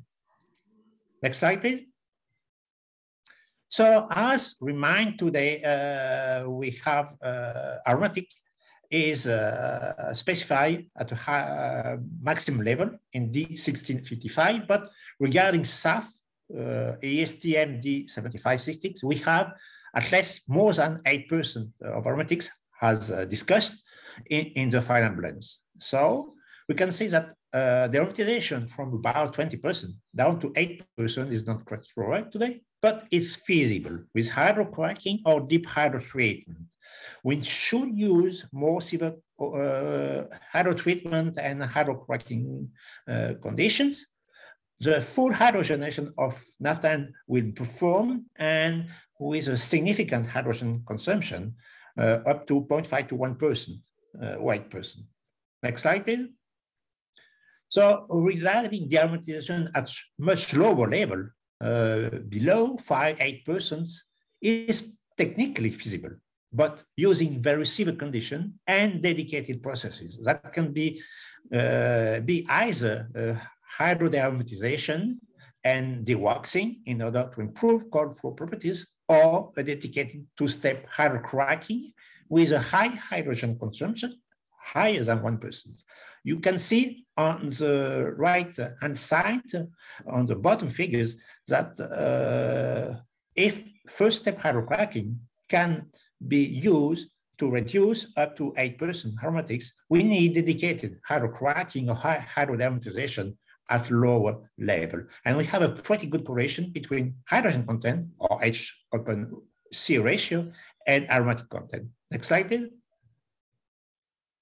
So just a very short uh, uh, view regarding SAF, you know that we have currently in this 7560 seven SAF route yet certified. And next, please. Uh, and uh, most of the SAF have a very low aromatic content and no sulfur. So uh, it, next, it means that blending up to 50% SAF with zero aromatics with an average SAF fossil fuel at 70 aromatic contents, it is possible uh, to decrease down to 8 to 9% just by blending. So this is one part of the solution. Next slide, please. To conclude, so decreasing aromatic uh, down to 10% is possible through existing refining, through uh, with one minor revamping, but with higher consumption.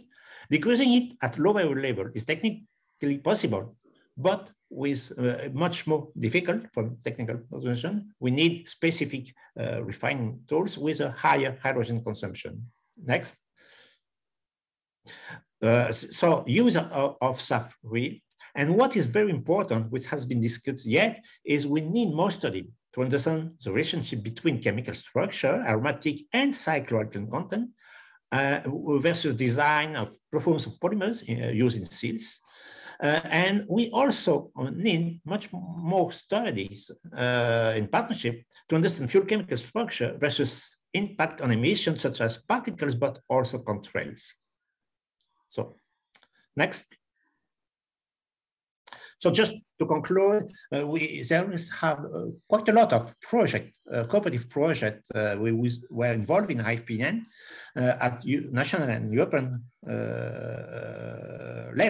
uh, on SAF, but I guess we need more. Thank you very much.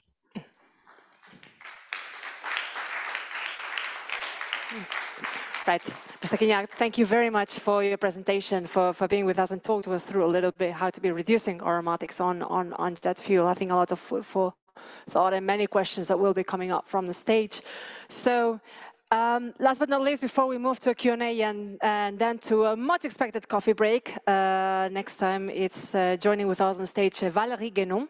She's Vice President for Products and Environment Policy at Safran. She will speak to us about how to run an engine on 100% SAF or low aromatics. So thank you very much, Valerie, for being with us. This here? Oh, okay, yeah, that's, that's good, thank you. Um, so yeah, so last, before the coffee break, I try to speak for no more than five minutes. It's quite a challenge. Um, so um, yes, well, I'm speaking uh, on behalf of the Safran Group um, aircraft and engine equipments. Uh, so for us, yes, it is critical to address non-CO2 effects. It's critical and it has been critical for many years, for decades actually. Um, and uh, in order for us, we need to define our priorities in research and technology and to propose optimized solutions. We are not allowed to uh, be wrong. Uh, we have the obligation to do it right uh, and to be on the right track. So really understanding and quantifying uh, all the very complex mechanisms on non-CO2 emissions is really key. Uh, regarding solutions, so um, I will speak first about a research project, uh, which is, well, um, Mr. Le Clercq has mentioned a research pro project called ECLIF.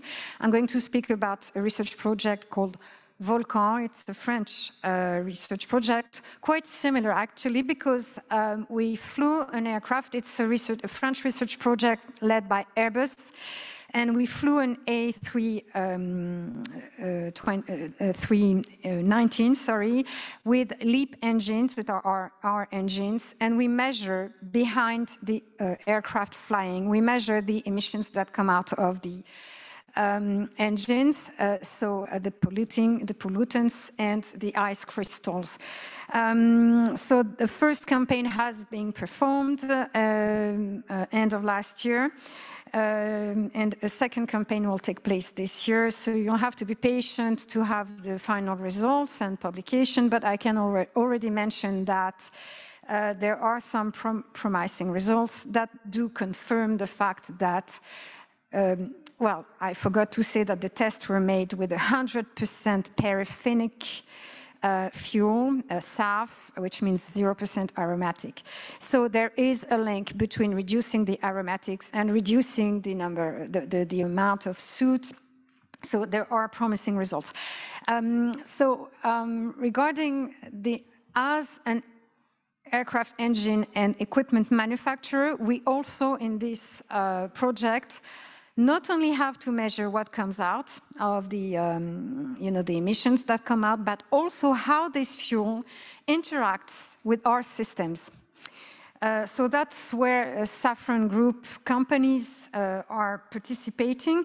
So uh, the systems, uh, we have, uh, you saw a picture of, of, an aircraft engine shown previously by the DLR, and you saw the combustor. So the combustor is this very critical component of the Uh, engine, this is where the fuel is burned.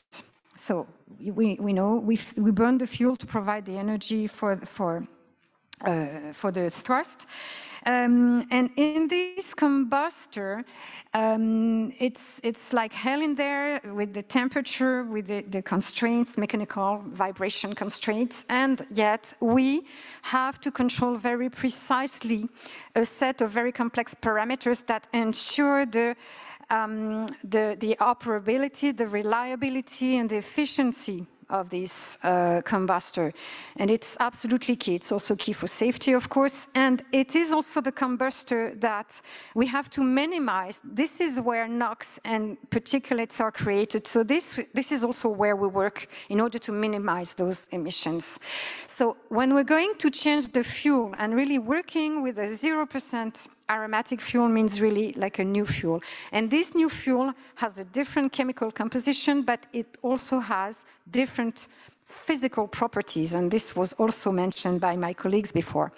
And so those different physical properties are going to have an influence on, you know, the, the uh, it's a different density, uh, lubricity, the spraying properties, all this has to be very carefully assessed. How is this fuel going to change? What's going on in this combustor?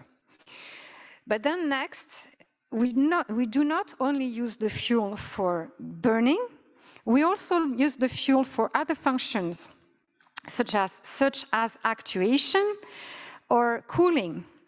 Uh, so um, it, well, the effect of the fuel on the seals has been mentioned. So this is definitely something we have to assess. And we have to assess, so this fuel makes its way in all of our systems. And that's the reason why in this research project, we work also with other, so Safran aircraft engines, Safran um, landing systems, uh, uh, Safran um, aero systems and Safran um, filtration systems. It's convenient because, well, I said Safran several times that I also mentioned what these companies do and what equipments they work on.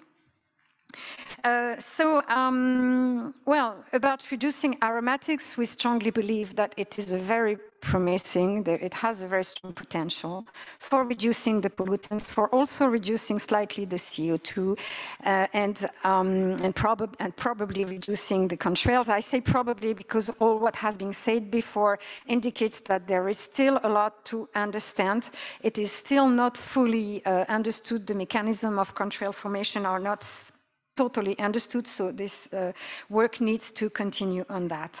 Um, so uh, in any case, uh, this is to um, indicate that whatever these future fuels will be, we will have to go through a very strong set of validation to validate what happens in the long term, in the repetition. It's not, we have an experience of decades with jet fuel we have designed all of our systems according to the properties of jet fuel. So getting to a new fuel is going to require a lot of validation and also to work with the variability of the fuels. What do we do when we change fuels? What happens there? And uh, finally, of course, this is necessary for operations, but of obviously for safety of the flights. Uh, so not many solutions, more questions than solutions, but uh, we definitely support the research that has to be uh, uh made uh, in the next, in the coming years. Thank you for your attention and have a good coffee break. Thank you very much.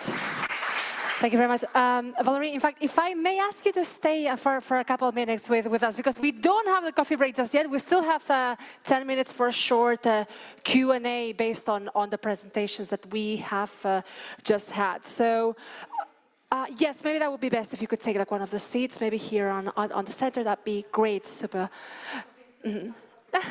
no worries, no worries. It's, uh, it's, it's, it's, coming really soon. So, um, I mean, at this stage, you know the drill. So if you have any questions, um, those who are in, in Brussels in person, you can uh, raise your hands and I will uh, look at you. And uh, for those um, being on Zoom, you can send your questions online. The questions will be getting through me from my phone. So if you see me here on my phone, I'm not on Instagram. I'm just browsing your questions.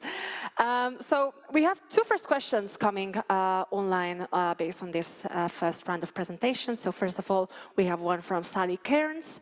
She's asking that um, demand management is one approach to reduce non-CO2 emissions. So so what role might demand management play? So I'm not sure if maybe uh, DLR would be able to, to this if uh, Patrick is online with us or, or, uh, or maybe uh, Valerie also would want to jump in.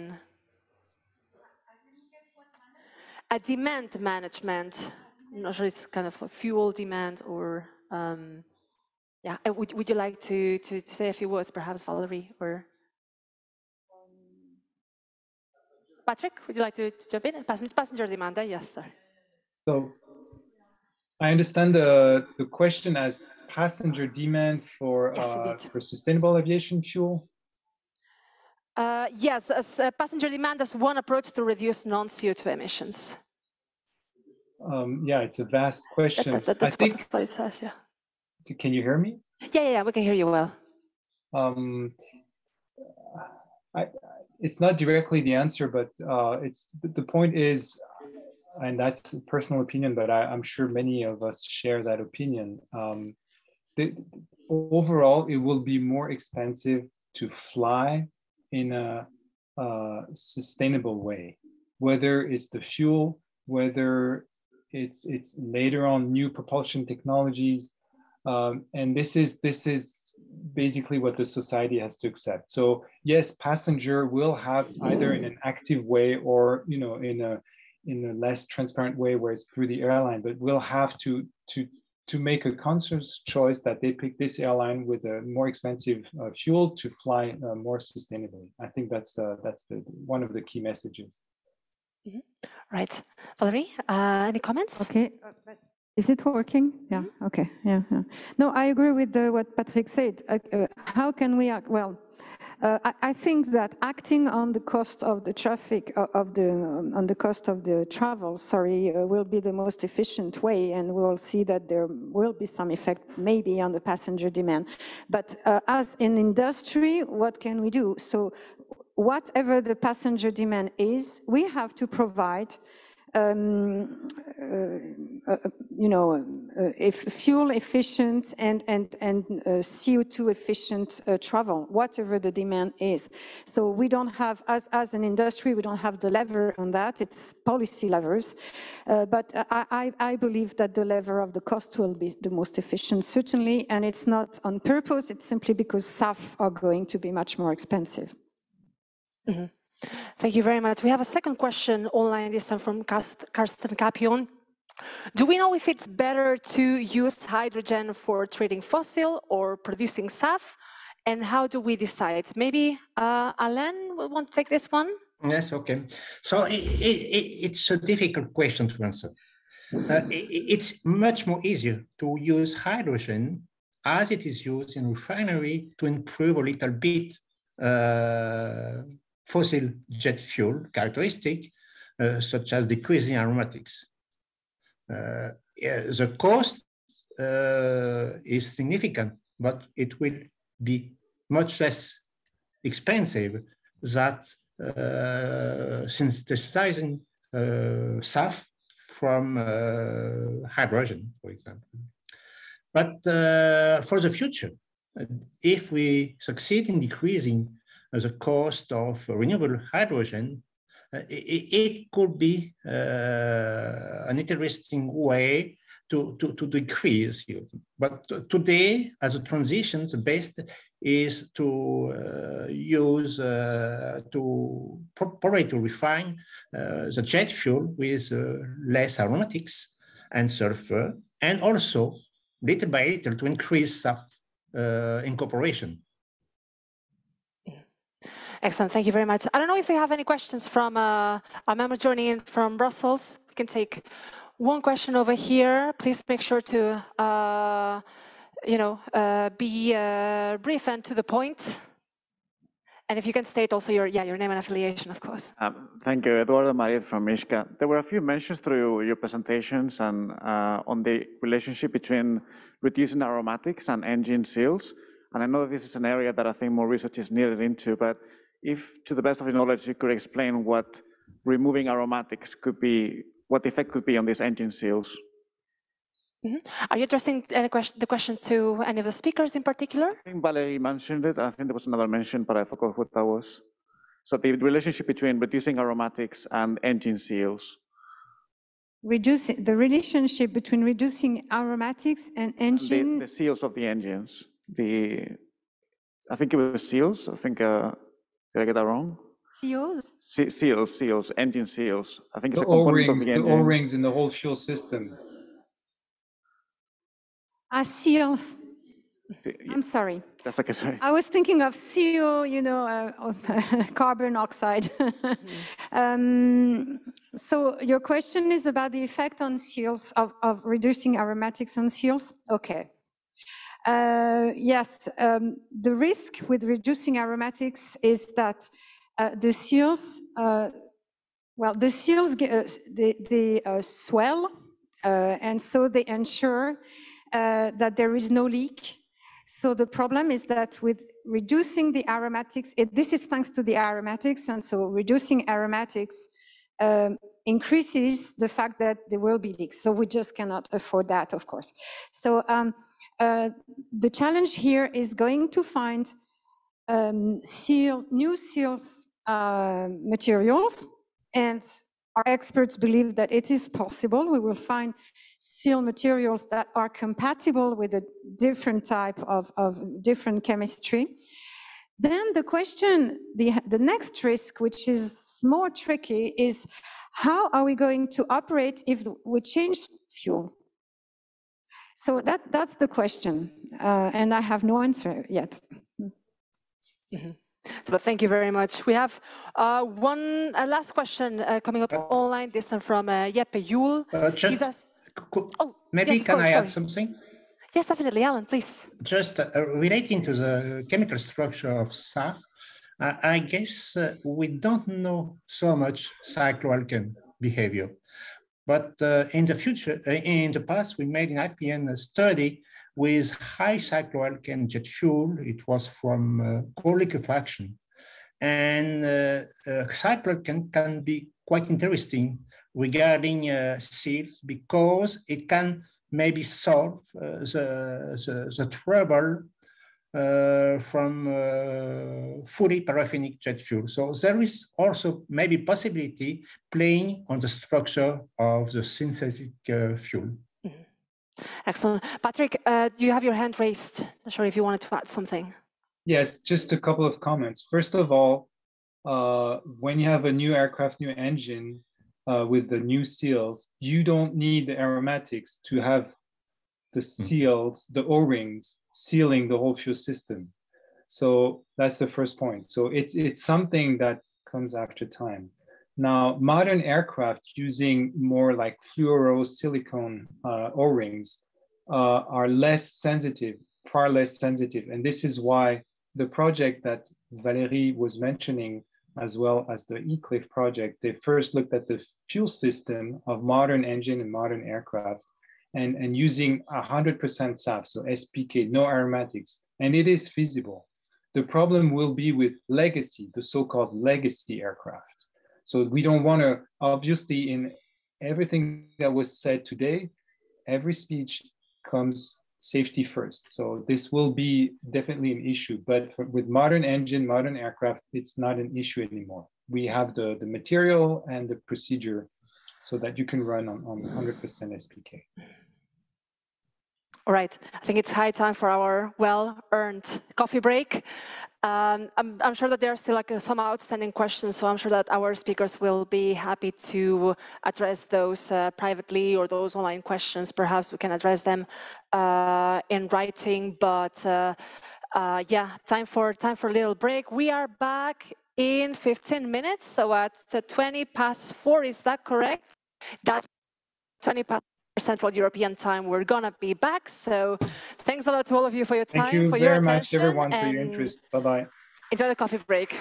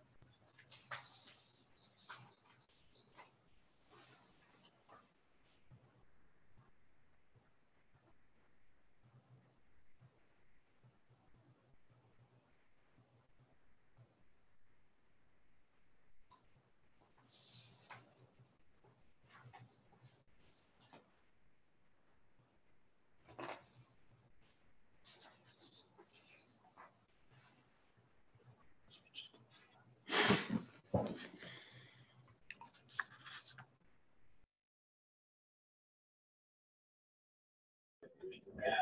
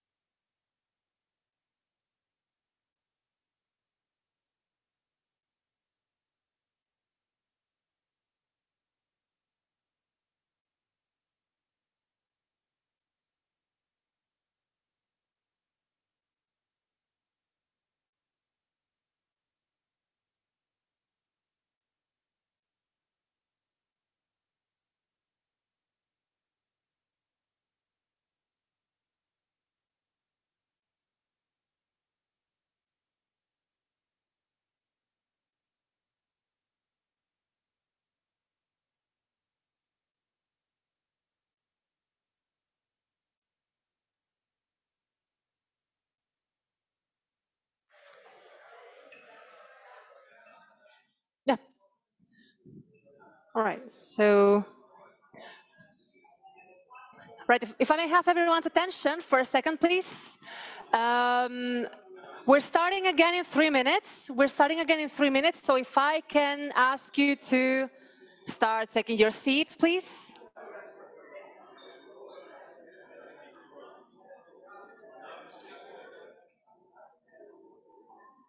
Hi. Thank you. Thanks. Right. Uh, yes, you can. Um, I mean,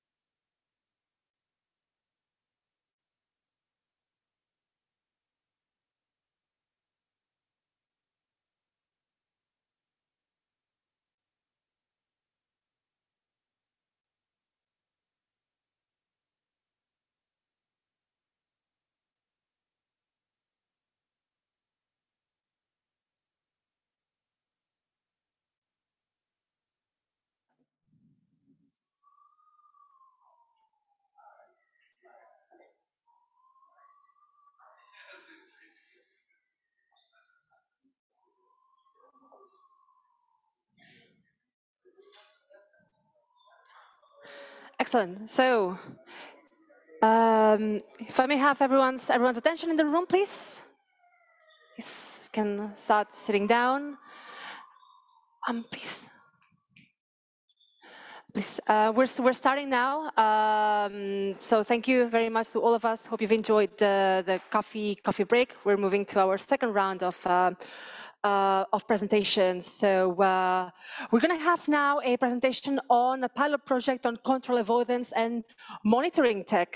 So we're going to have with us Laurent Laluc, he's information manager for eco-friendly aircraft at Thales, and Guillaume Bernot, he's the deputy CEO of operations quality at Amelia, who will uh, tell us more about uh, their project. So if I may have Laurent and Guillaume online, are they with us? Yes, we are. Yes, we do. All right, we can see uh, Guillaume. Hassan, are, are you with us? Hello. Hi, we can we can hear you well now. Excellent. Okay. It's, where's yours? Uh, so can you see the slides okay? Yes, we can. Okay, so with Guillaume today, uh, we're going to give you a talk about uh, more eco-friendly flights and what we intend to do both uh, from Amelia sites and uh, Thales Avionics sites. So uh, we're going to give you a talk about uh, what we have in mind for uh, eco-friendly flights, and we will make a focus on the Thales product, which is called Flight Footprint Estimator. And then we're gonna uh, talk a little bit about contrail forecast. Then we will go to the operation size with sites with uh, Amelia Green initiative and eco routes in operation. And uh, we will end the, the discussion with the levers and example of examination we, we intend to put into the field.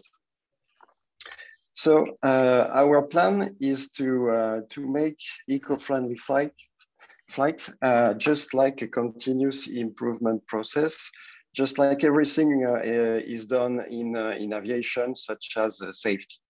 So to do this, we have uh, four, uh, four steps. Uh, number one is to uh, measure objectively uh, how much a flight impacts uh, the, the climate. Number two is to simulate and forecast and try to consider a set of routes and then uh, optimize in a, in a given uh, dimensions and make recommendation to the airlines and then execute it in the field, both on uh, the pilot side and the air traffic controller side. And then you re-enter the loop. So flight footprint is about uh, number one. And after we will give you a little bit of talk about uh, uh, forecast about contrail. And then we will see levers on the, the pillar number three to optimize. And Guillaume will give you a talk about execution in the real life.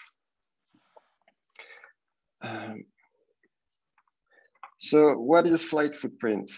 So flight footprint is a tool uh, for a given day uh, at a given time uh, for a given trajectory gives you the impact of this flight uh, on the climate. And uh, it gives you this impact, of course, in CO2 regarding fuel burn, but also in a CO2 equivalent uh, regarding all the greenhouse gases uh, be it uh, nitrogen oxides or contrails.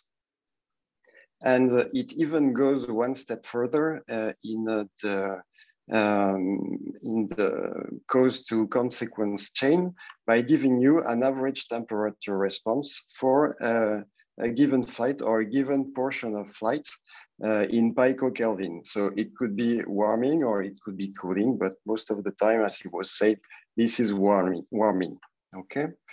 Um, and so what we want to do and our ambition is to reduce, of course, fuel consumption by 10% by playing on levers such as uh, windsurfing or continuous climb or continuous descent. Uh, but we, if we consider all the, the effects uh, up to uh, uh, uh, nitrogen oxides and contrails, we could reduce up to 70% the CO2 equivalent. And that's more or less our ambition. Um, and so the benefits of that is that, of course, you can perform fuel savings. Of course, you can uh, claim carbon offsetting reduction. Uh, but as today, uh, non-CO2 are not, not eligible to taxes or uh, carbon offsetting, you can value your, your position as a sustainable leader. You can boost your transition as an airline, and uh, you could engage, engage passengers, B2B, etc.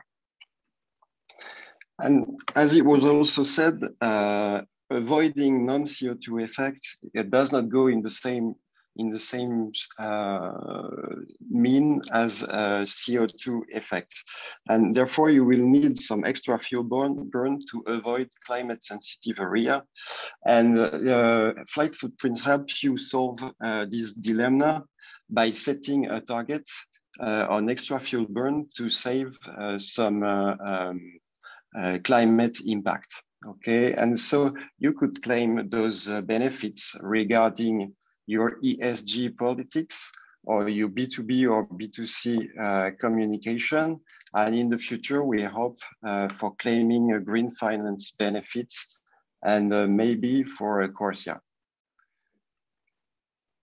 So in a nutshell, uh, in a nutshell, uh, flight footprints uh, detects what we call the big hits. So the big hits are the, the biggest the, the, flights with the routes that uh, crashes the atmosphere, the, the most uh, crashing one, uh, it's, uh, it makes uh, some forecasts for climate footprint. Uh, you could gather a climate footprint database. You can compute on a flight or a segment of flight or per batch of flight if you are an air traffic controller and you want to know the, the impact of your airspace. And as it is APIs, it is it could be connected to your IT uh, as you want it.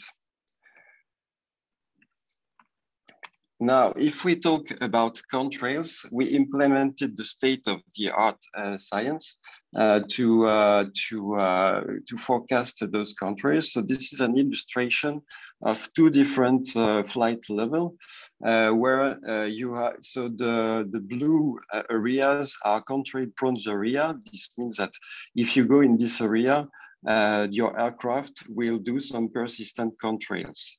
Uh, and as you can see, if you change your uh, flight level, uh, you, you could avoid those uh, contrails area. So this is one lever we want to explore uh, with uh, flight footprints. So now in action, Guillaume, your turn. Yes, thank you, Laurent. good afternoon, everyone. I am Guillaume. I am head of compliance of Amelia. we are a small uh, aviation company based in France. We are flying for uh, uh, regional cities in Europe. And then in 2021, we launched an internal initiative. We call that Amelia Green. And then we, we are studying, we are putting in place short, mid, and long-term projects. And we took some decision to reduce our impact on the environment uh, then uh, currently we have uh, four different projects on the way. the first one is what we call in French bilan carbone. This is a, project to evaluate our carbon footprint as a company because we have many entities some uh, are airlines, other ones are uh, MRO, maintenance, repair, and overhaul centers. So we have launched this project to evaluate our overall uh, bilan carbon, carbon footprint. Then we are also uh, studying our ISO uh, certification uh, just after our uh, bilan carbon. And then uh, what we are talking right now, we have a contract with Thales to use their FFP estimator tools. So this is still in development with them. And then the last, uh, let's say, long-term project is uh, uh, exploration of hydrogen energizing our aircraft. We have signed a, a MOU with a, universal hydrogen to buy some uh, modification kits for our ATR fleet. So as you can see, uh, for us, uh, fly greener is really short, mid, and long-term project. This is step-by-step -step, uh, uh, initiative. the next slide. So concerning the eco routes for uh, Amelia operation, so we will use Thales FFP estimator as eco route definition tool for all our fleet, our ATR, our Embraer, and also our Airbus, with two main uh, uh. Uh, we will use FFP estimator to better identify the best possible eco routes when we are doing a route study. And then we will be able to uh, request uh, for quotation and DSP with the best possible option. And we will also show to our customer, to our clients, to our prospects, which is the impact on their choice. Because as, as we said before, we are sure that the customer has to pay to fly greener. And then the second goal is to optimize our daily routes because we are also convinced that to fly greener, this is a day by day uh, tool, a day by day uh, culture dissemination inside our company. Because uh, we saw that we have a lot of information coming from scientists, coming from the manufacturer, but we really need to have a daily tool for our operation agents and also pilots. And we are quietly sure that uh, FFP estimator is a good, a good tool to be integrated in the daily uh, operation Amelia reporter tool. Thank you. Okay. Thank you, Guillaume. Uh, and so we we played with uh, flight footprint on uh, uh some uh, uh, Amelia flights, namely Paris Tarbes and Paris Valladolid. And so we computed the impact, and as you can see, it's no big surprise, but the, it's about half and half on CO2 and non-CO2 with nitrogen oxides and contrails and so we computed the, the contrail distance and uh, the impact in GWP 100, which is the unit of the Paris Agreement. Uh, but uh, that's no uh, big surprise, I would say. But in the real life, it's it's uh, it's real. And and so also we we tried to find some big hits. And so if you see the statistical distribution of those uh, flights, you see that it's a rather large uh, distribution. And therefore, we don't need to reroute all the flights. We think we think we if we reroute only the big hits, when it's it, it's already a, a, huge improvement. And uh, if we take the Paris Valladolid example, you see in GWP 100, you could double uh, this uh, this number uh, by considering the, the flight with no contrails and the flight with uh, a huge amount of contrails. So how to avoid those, uh, those contrails area? One lever is to change altitude, as it was say uh, by Patrick Ky. And uh, uh, here you see we have the, the, the, flight that was flown in blue. And if we change the altitude uh, in, in orange, this is the fuel burn. So the higher you are, the lower the fuel burn. Uh, this is standard. Uh, but for uh, non-CO2, so here it's the GWP and here it's the average temperature response, you see that we have a, a maximum above on flight level 330 to 360. If you go higher, then uh, you you have uh, uh, it's it's lowering, but those levels are, are not accessible uh, due to uh, um, regulations. But if you fly lower here, you have a, a, a sweet spot where you have a low uh, non-CO2 impact and an affordable uh, fuel burn. And this is typically uh, the, the, the, kind of trade-off we could consider on, uh, on real flights in the real life. I'm pretty much done with uh, what we wanted to uh, to show it to you uh, today. I just want Thank to you. add something, if you don't mind, regarding SAF, because I heard uh, all the discussion about SAF. Uh, from, uh, let's say, a small regional airline perspective, we have two questions about SAF. For sure, the first one is the price, because this is five, six times higher than current fuel. So it's, for the time being, uh, a complete a complete change of our business model because the price is so high currently that this is quite difficult to integrate SAF in the current business model. And then the second question is also the availability of the SAF in uh, small or isolated airports, even in France. Currently, this is quite impossible to find SAF available to fill the, the tanks. So two, two questions regarding SAF, cost and availability. Thank you. Perfect, Guillaume Laurent. Thank you very much for your presentations.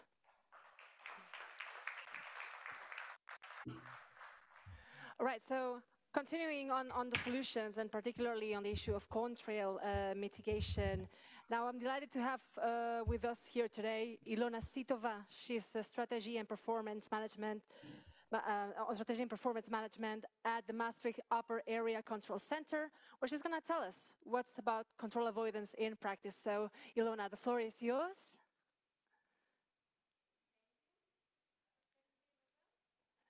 Uh, we is it, is it activated?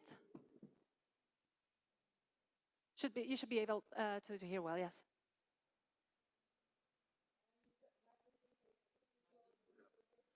Doesn't seem to be working, no. Then I can use this microphone? Can, can you start with, with, the, with the, the microphone? That microphone. Yes, please, Ilona, thanks.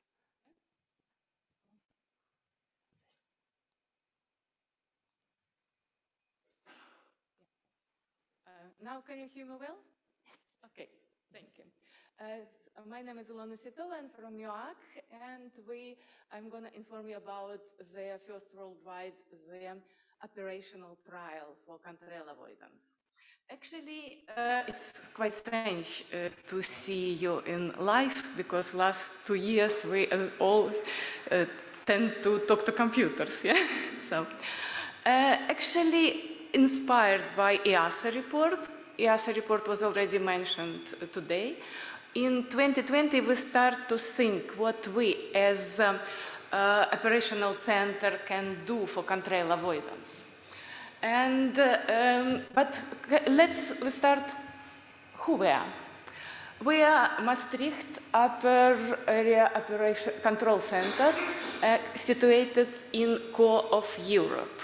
We are controlling the flight above um, Belgium, Luxembourg, the Netherlands, and uh, uh, northwest of Germany. As we are really in, in Europe, as you can see, usually we're controlling 16% of flights going through Europe. But start to think about contrail avoidance, of course, we needed a solid scientific, scientific background, as we are operational people, we're not scientists. That's why we cooperated with uh, a German Aerospace Center, DLR. Oh, we had already a representative from DLR here. So, and uh, our cooperation, let's do contrail avoidance trial. Start to, uh, start to investigate the issue, we found quite a lot of different opinions. From opinion that contrail avoidance it's a low-hanging fruit, and it's to do this so simple as yeah, it's very simple, till the opinion that it's not possible to do contrail avoidance in core of Europe. So as we're situated in core Europe, we start to think, yeah, let's try. So why we and uh, what we have done. And so first, of course, of, of all, of course, we wanted to contribute to uh, research scientific knowledge of contrail avoidance and impact of contrails on climate. And of course, we would like to understand and test operational procedures. Then we needed to uh, answer the questions, some questions. That's is it possible to predict the contrails were correct? Because we want to be I could say even surgically correct, not to minimize additional CO2 emission. Another question, of course, to detect contrails, to evaluate work we've done. Another, and, and then important question, to establish workable operational procedures. what could be lead to contrail avoidance. And of course, the question, can we operate under the normal traffic demand? As we remember, trial was started in 2021 and we wanted to use pandemic situation actually because of low traffic at that time. So as well, we know from, you all know from scientific uh, investigations that um, contrails, impact of contrails during the daytime is discussable. Even could be, contrails could have a positive effect on climate during the daytime. And the, but during the nighttime, contrails are always bad. That's why nighttime was chosen as well. So as you can see, the contrail, our trial started 21st of uh, January 2021 and, and the 22nd of October 2021. And it was done during the night time from 15 till 5 UTC winter and 14 4 UTC summer. Then how did we do the, uh, our trial? It was, uh, contrail was avoided tactically.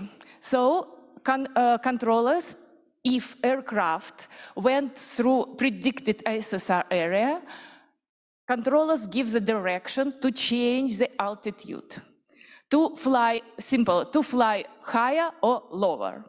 Again, we decided not to deviate aircraft for more than 2,000 feet to minimize additional fuel burn.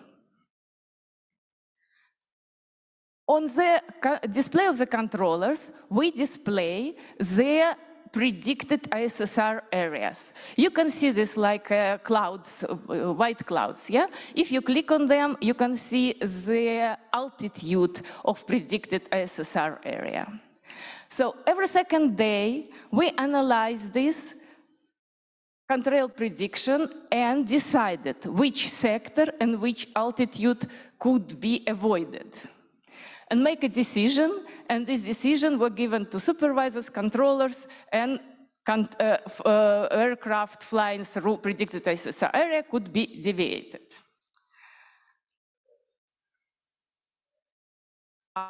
After looking so many times to contrails prediction and contrails at the sky, we become, of course, the kind of specialists in weather forecast and contrails forecast. And we would say, unfortunately, 2021 was not favorite for contrail prevention. We have really bad weather for contrail formation. And first, uh, beginning of the year, for example, ISSR area were uh, created very low for our airspace. After just uh, as we know, we need the uh, certain temperature and humidity for contrail formation, and weather was not in favor of creation of, probably it was in favor of, uh, of climate, but not for our trial. That is why taking into consideration the low traffic during this time, during pandemic, not a lot of aircraft were deviated. Actually, we deviated a little bit more than 200 aircraft in total. And distribution of this aircraft, you can see on this graph. And you see distribution, it's not equal during the whole year. And most of the nights, we deviated one or two aircrafts only. But still, we were able to do some observations, of course, and uh, experience. This experience gives us really a lot. what, what is the most important? I mentioned the most important here. Uh, first of all, data is processed by our partner DLR, as I already said. And there is my, might be a tendency that contrails could be avoided. Another thing, it's quite, uh, came quite early, and it was the issue with contrail prediction. Actually, contrail prediction was not good enough. Oh, okay, probably we were expected too much. But for our expectation, it was not good enough. And then uh, contrail uh, detection also need to be improved. Another thing, I already mentioned contrail analysis was not automated and we spent a lot of time to do this manually. And effect of contrails impact of climate, contrails avoidance and contrails impact of the climate should be, of course, calculated and compare of effect of additional CO2 emission. Then still the key messages of main conclusions of our trial. It's a first that contrail prevention is operationally possible. We can state this, we did this. But it's too early to talk about indicators or to set target on contrail prevention. And that is why we need, of course, to continue research. More research is needed. Research of, of course, magnitude on uh, CO2 uh, of contrail prevention and compare this to uh, CO2 emission. Then contrail prediction, of course, and observation of contrails. That is why we didn't start with our, our project. If I can ask you to, to, to wrap up, Ilona. Excuse me? If I can kindly ask you to, to, to wrap up. Yeah, yeah, it's, it's last slide. Uh, it's, uh, we didn't start, uh, stop with our um, project. We go we are going further and now we're cooperating with a lot of it's a lot of consortium uh, created last years like D-KULT, the German consortium we're participating in SESAR project and we're doing the trial with NATS, uh, Satavia and Emirates etc so actually we continue, we need to work all together because we then only then we can gain the real knowledge and we can do a lot for the climate. And as MUAC, we can of course share our experience, gain knowledge and results with all of you. Thank you. That's it. Sorry. So Ilona, thank you very much for, for sharing your experience uh, with, uh, with us. We still have a couple more uh, presentations on solutions that are uh, being text, uh, tested. And next in line is an Airbus presentation with Alain Dezotti, uh, Chief Engineer at Airbus. Um, if you're with us, and if we can kindly ask you to stick to the, to the five minutes as we are running quite uh, a schedule, please. I will do my I will do my best. Good afternoon, everyone. Uh, when we did the trial this morning, uh, the, the, bandwidth was not very high, so I will just shut down the video when I do the presentation. So apologize for that. Normally, that would make the, the sound a bit better.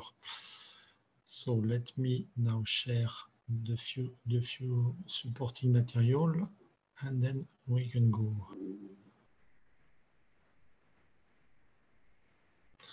Voilà, so our, our role at, at Airbus is to try uh, very, very, often to, to, to, understand the various positions, to understand the various uh, technical aspects, and to try to, to integrate them.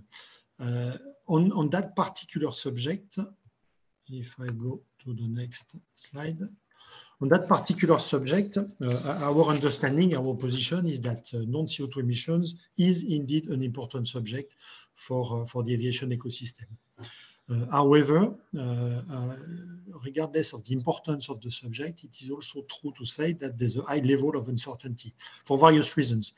Uh, the NOx effect, for example, is very much dependent on the assumptions you're making for the composition of the atmosphere in the future. And because the NOx effect is not necessarily a direct one, it's a cascade of effect with other chemical components, you need to have a good understanding of what the future will be. So that adds uncertainty. Uh, we've talked a lot about contrails uh, in, in, the, in the last two presentations. Uh, their prediction is not easy, as we've seen with the, with the MUAC experiment, but also their impact uh, over the long term uh, when we take into account fleet evolutions, etc., is difficult to assess. So this being said, we, we because because it's important, but also because it's quite uh, it's quite difficult and there's a level of uncertainty. Uh, we are really supportive of all the work that is being done to give us better tools to make those predictions, to make those evaluations, and to make those assessments from the microscopic um, beginning of the chain, what's coming out of the engine, to the macroscopic, the, the climate impact. And as Airbus, our specific contribution is obviously in the, in the, in the first part, it's in the, the aircraft behavior and the, and the aircraft effect. So this is why uh, we've done very recently some dedicated flight test campaign to support the calibration of the tools, uh, the calibration of the prediction methodologies, to support also the technical and the physical understanding. Now you have on the on, on the chart a picture of, uh, of an Airbus A350. We did also the, the same flight, the same type of flight with an Airbus A320. So we have a, that covers well, the, the, the, type of aircraft that are flying today. And the idea was to fly those aircraft with uh, normal jet A fuel, but also sustainable aviation fuel. And was to, was to observe uh, the type of contrails that were, that were formed, the nature of uh, the, atmosphere behind, the, behind the, the, aircraft. And for that, we had the DLR aircraft that was chasing the, the 350 or the 320, literally sniffing the, the exhaust or the vortex of, the, of, of those aircraft. The idea there was to understand whether, uh, for example, with sustainable aviation fuel, uh, with fuels that contain no aromatic, we would have less soot, less particle, and therefore less possibilities of nucleation and maybe less contrails. Or on the contrary, if there's enough uh, dust in the in the atmosphere, enough particle in the, the, atmosphere that you just need to bring enough water to have uh, to have contrail formations.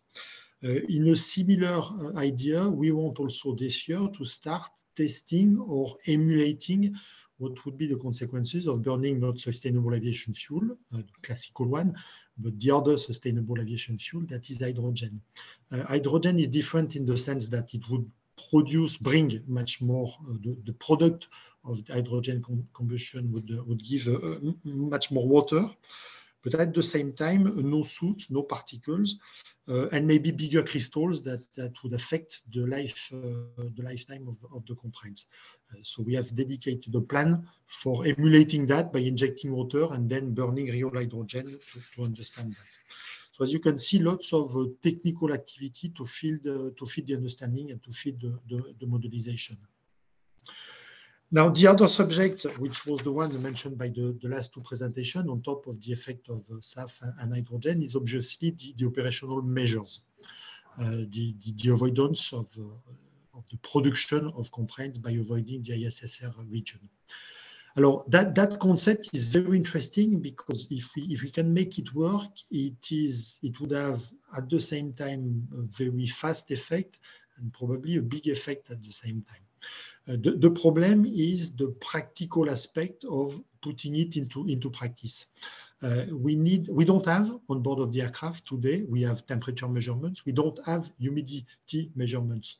So an aircraft is not able to know if it is flying in an ISSR region or not. Uh, there's no uh, surveillance system, satellite-based or ground-based, that would be able to say, yes, we have persistent contrails in that area produced at those altitudes. And the, the weather forecasts that we've seen previously are not precise enough. They've not been designed for that. So they are not precise enough. Uh, the discretization with regards to altitude and, and, horizontal positioning are probably not sufficient to do what we would like to do uh, by that. Now, this being said, because the subject is important and because we, we don't know everything, uh, we, we don't have all the elements, uh, we need to work things in parallel. So this is, this is why uh, our view is really to work and to support the understanding, the scientific understanding. It's also to understand and to validate the potential of the new fuels. And at the same time, to construct, to build all together an operational concept that cannot be put into practice today because we don't have the right understanding. But as soon as we would get the understanding, we would have all the bricks to make a, mature solution, a solution that is working, that is effective, that is fair, that is making the right trade, and that is operationally uh, making sense and that is viable.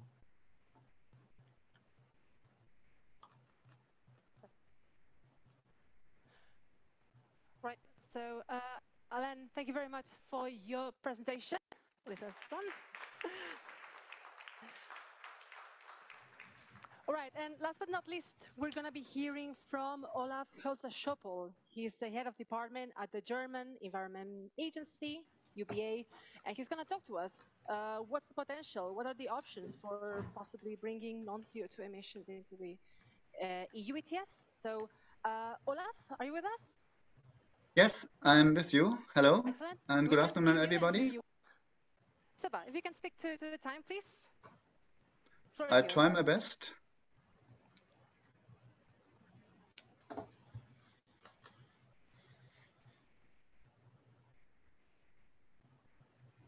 Just one second.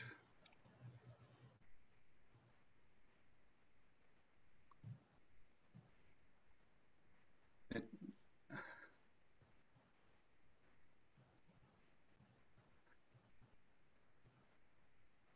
Isn't there a shortcut? Is it like F11 or something? it, it does not work. Um, Oh. not, in the test, uh, this um, window uh, uh, went away after some seconds, but now hopefully it works.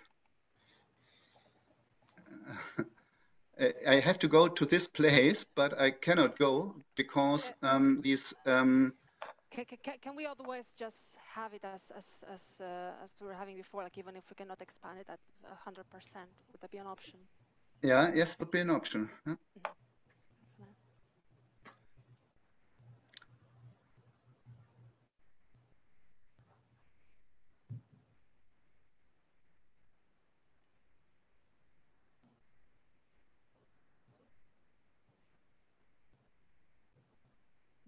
There you are. Excellent.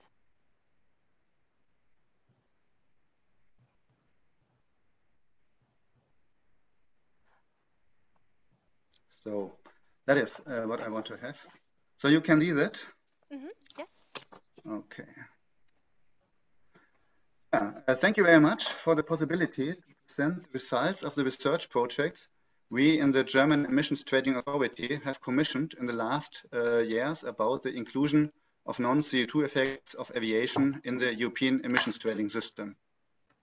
The inclusion of um, non-CO2 effects in an emissions trading system, like the European one, um, would have the effect that these effects would get a price so that airlines which use climate optimized trajectories get an economic advantage.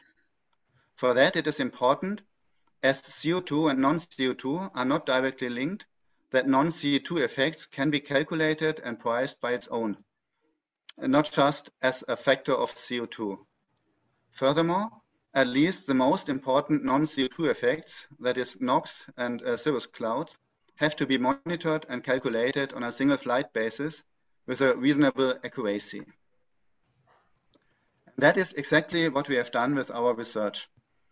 At a glance, the research and development done by the German Aerospace Center, DLR, and others in the last five years is proving that at least a monitoring and reporting system for non-CO2 effects of aviation can be integrated in the emissions trading directive already now in the ongoing review of the directive. The first research project, finished already, had a more general focus and came to the conclusion that regarding the climate effects, the scientific basis is reasonably sufficient, the data availability is given, and the data collection is technically feasible, but nonetheless, a larger effort in comparison to the CO2 alone. The main graphic is the one you can see on the slide. There are different calculation methods which differ in climate mitigation potential on the one side and the effort for the MRV activities on the other side.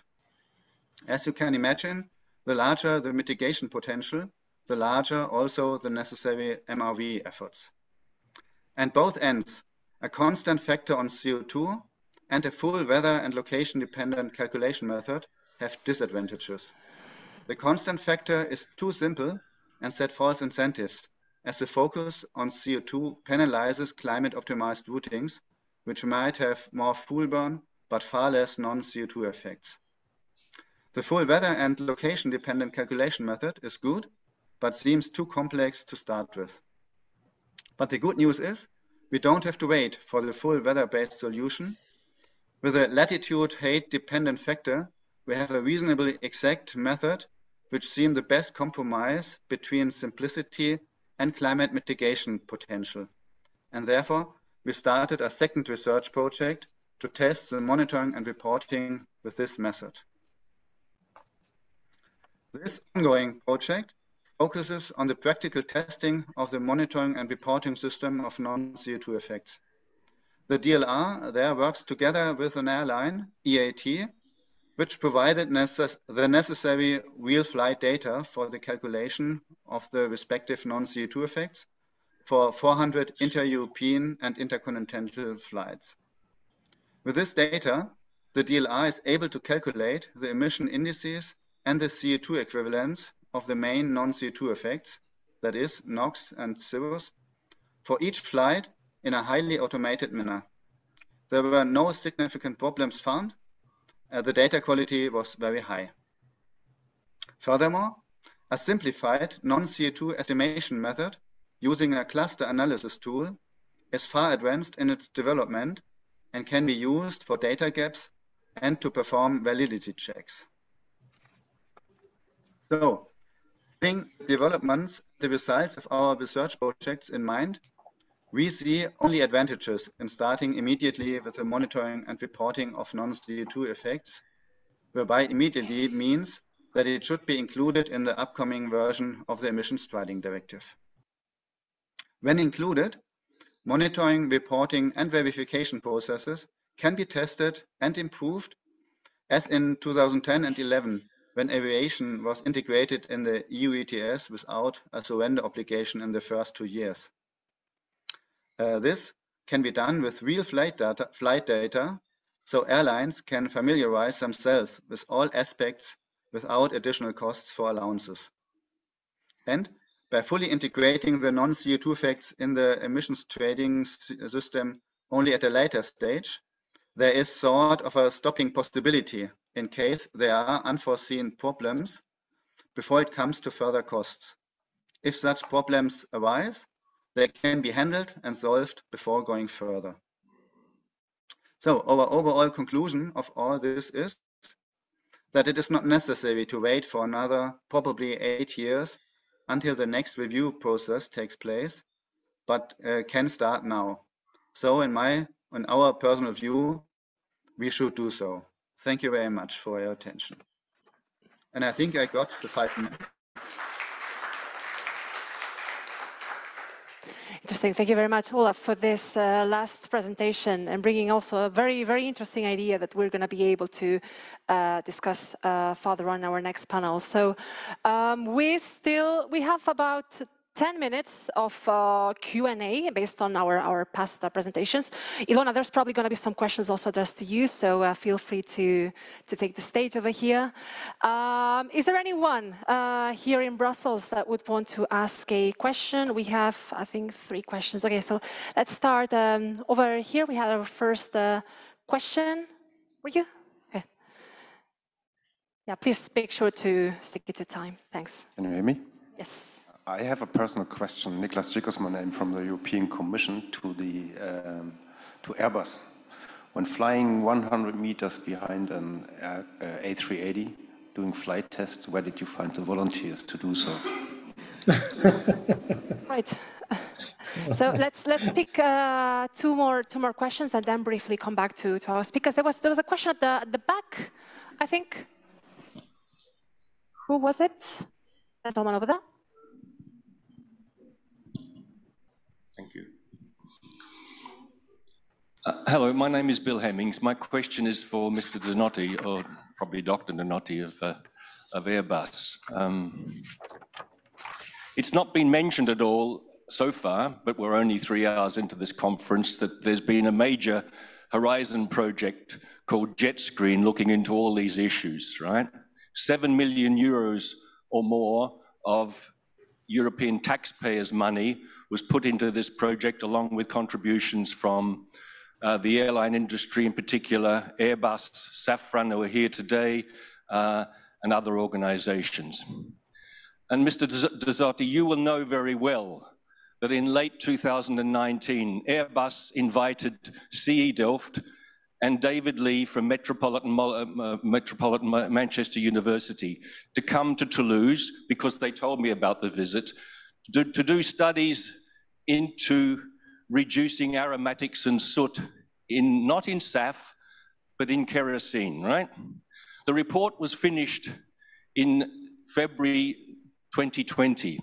I know that because if you read the EASA report, it refers in great detail to CE Delft forthcoming and saying very clearly that it is quite feasible to reduce aromatics and soot almost completely uh, in aviation kerosene today. So Airbus has now set out some plans uh, to go down the SAF route question, and to go down the hydrogen route. My question to Airbus is, why has that report of CE that was finished in February 2020, more than two years ago, why has it not been published? I've been told that it hasn't been published because Airbus says it's confidential. I don't believe it's confidential. I believe it's an open desktop research. And so my question to Airbus is, will you agree now in this public webinar that Airbus will release CE Delft to produce the report so that JetScreen actually can produce it because it's part of a JetScreen project and so that the parliament and the co-decision can actually have a proper discussion about this issue. Thank you. Um, we have one, one, last question here at the front. Uh, if we can just like take it quickly and and and please uh, keep it keep it short. Yes, uh, Eric Lombard, uh, stay grounded. Uh, it's a question to Olaf uh, about the MRV uh, system, prediction system. It doesn't uh, seem to include the nature of the fuel and the aromatics. Why is why that? Mm-hmm. Excellent. Um, then uh, maybe for uh, allusions, maybe we could start for with uh, Airbus, with Alain Desotif. Uh, I'd like to uh, quickly answer. Well, the, the, first question on flight test, I think uh, this is quite typical of, of what people are doing. So there was obviously it's a, it's a delicate delicate maneuvers, but they are they are being done by, by professionals. And the second one, I, I, I cannot answer I cannot answer at the moment. So we'll be happy to, to address uh, your questions with, with my colleagues that have dealt with uh, the subject precisely. Mm -hmm. Then Olaf, if I could get back to you on the question on the on the MRV system. Um, yes, but I have to admit I'm not sure whether I can give a, um, a um, sufficient answer as I'm I'm not so deep in in the in the um, project uh, itself that I can uh, give the answer why um, this is it is not uh, done. I'm not even uh, sure that it is uh, indeed not done. Maybe it's um, in a part of of the um, the the, the um, calculations the DLR is doing. Um, so uh, if to get a correct answer, I have to go back to the DLR. Um, if you send me an email or give me your details, I can go back to you with the, with the answer but unfortunately, right now, I can uh, not give a full answer. Sorry.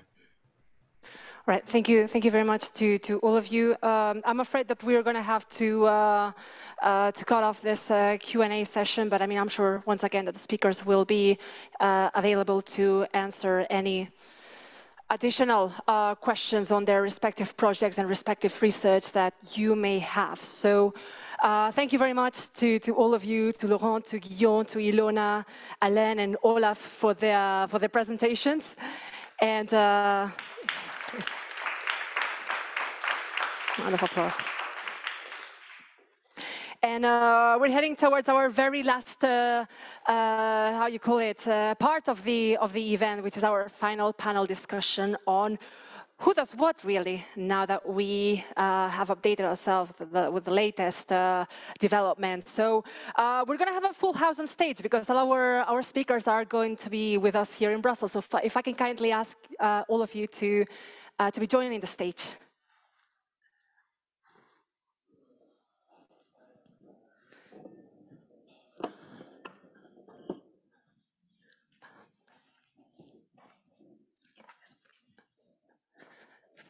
Have uh, Marilyn and, and